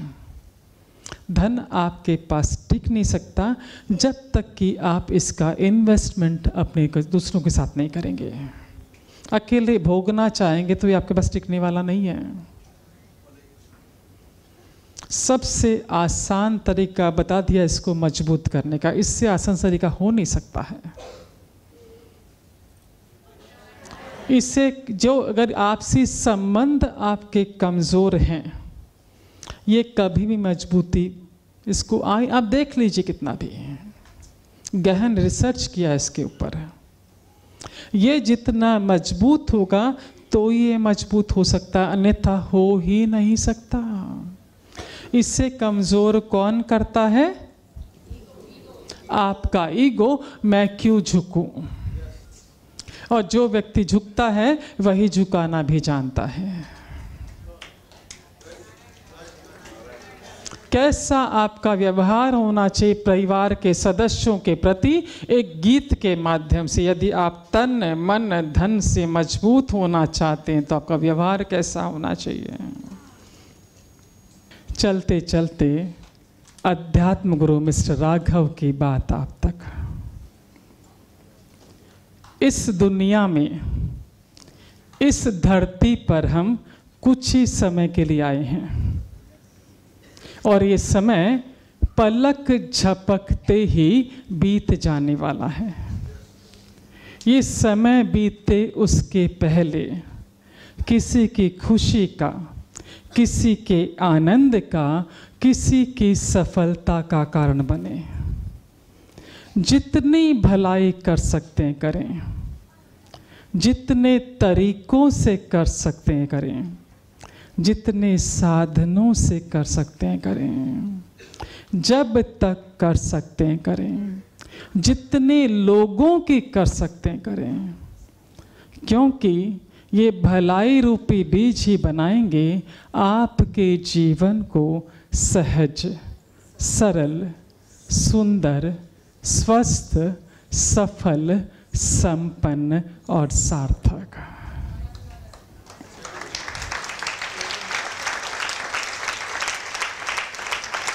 और दो पंक्तियों के साथ अपनी वाणी को विराम देना चाहूँगी कि नारायण से मांगे आपके वास्ते। टाइप है ना हमारा उसके साथ में। तो नारायण से मांगे आपके वास्ते, सदा खुशियों से भरे हो आपके रास्ते। आई रिपीट नारायण से मांगे आपके वास्ते, सदा खुशियों से भरे हो आपके रास्ते। हँसी आपके चेहरों पर रहे कुछ इस तरह। हँसी आपके चेहरों पर रहे कुछ इस तरह। खुशबू फूल का साथ निभाती हो जिस तरह। खुशबू फूल का साथ निभाती हो जिस तरह। I love you. I like you. I respect you. Narayan bless you. Narayan bless you. Narayan bless you. Once again, Maheshwari प्रगति मंडल एवं संस्कार सत्संग समिति का रोम रोम की से धन्यवाद धन्यवाद धन्यवाद धन्यवाद नारायण नारायण नारायण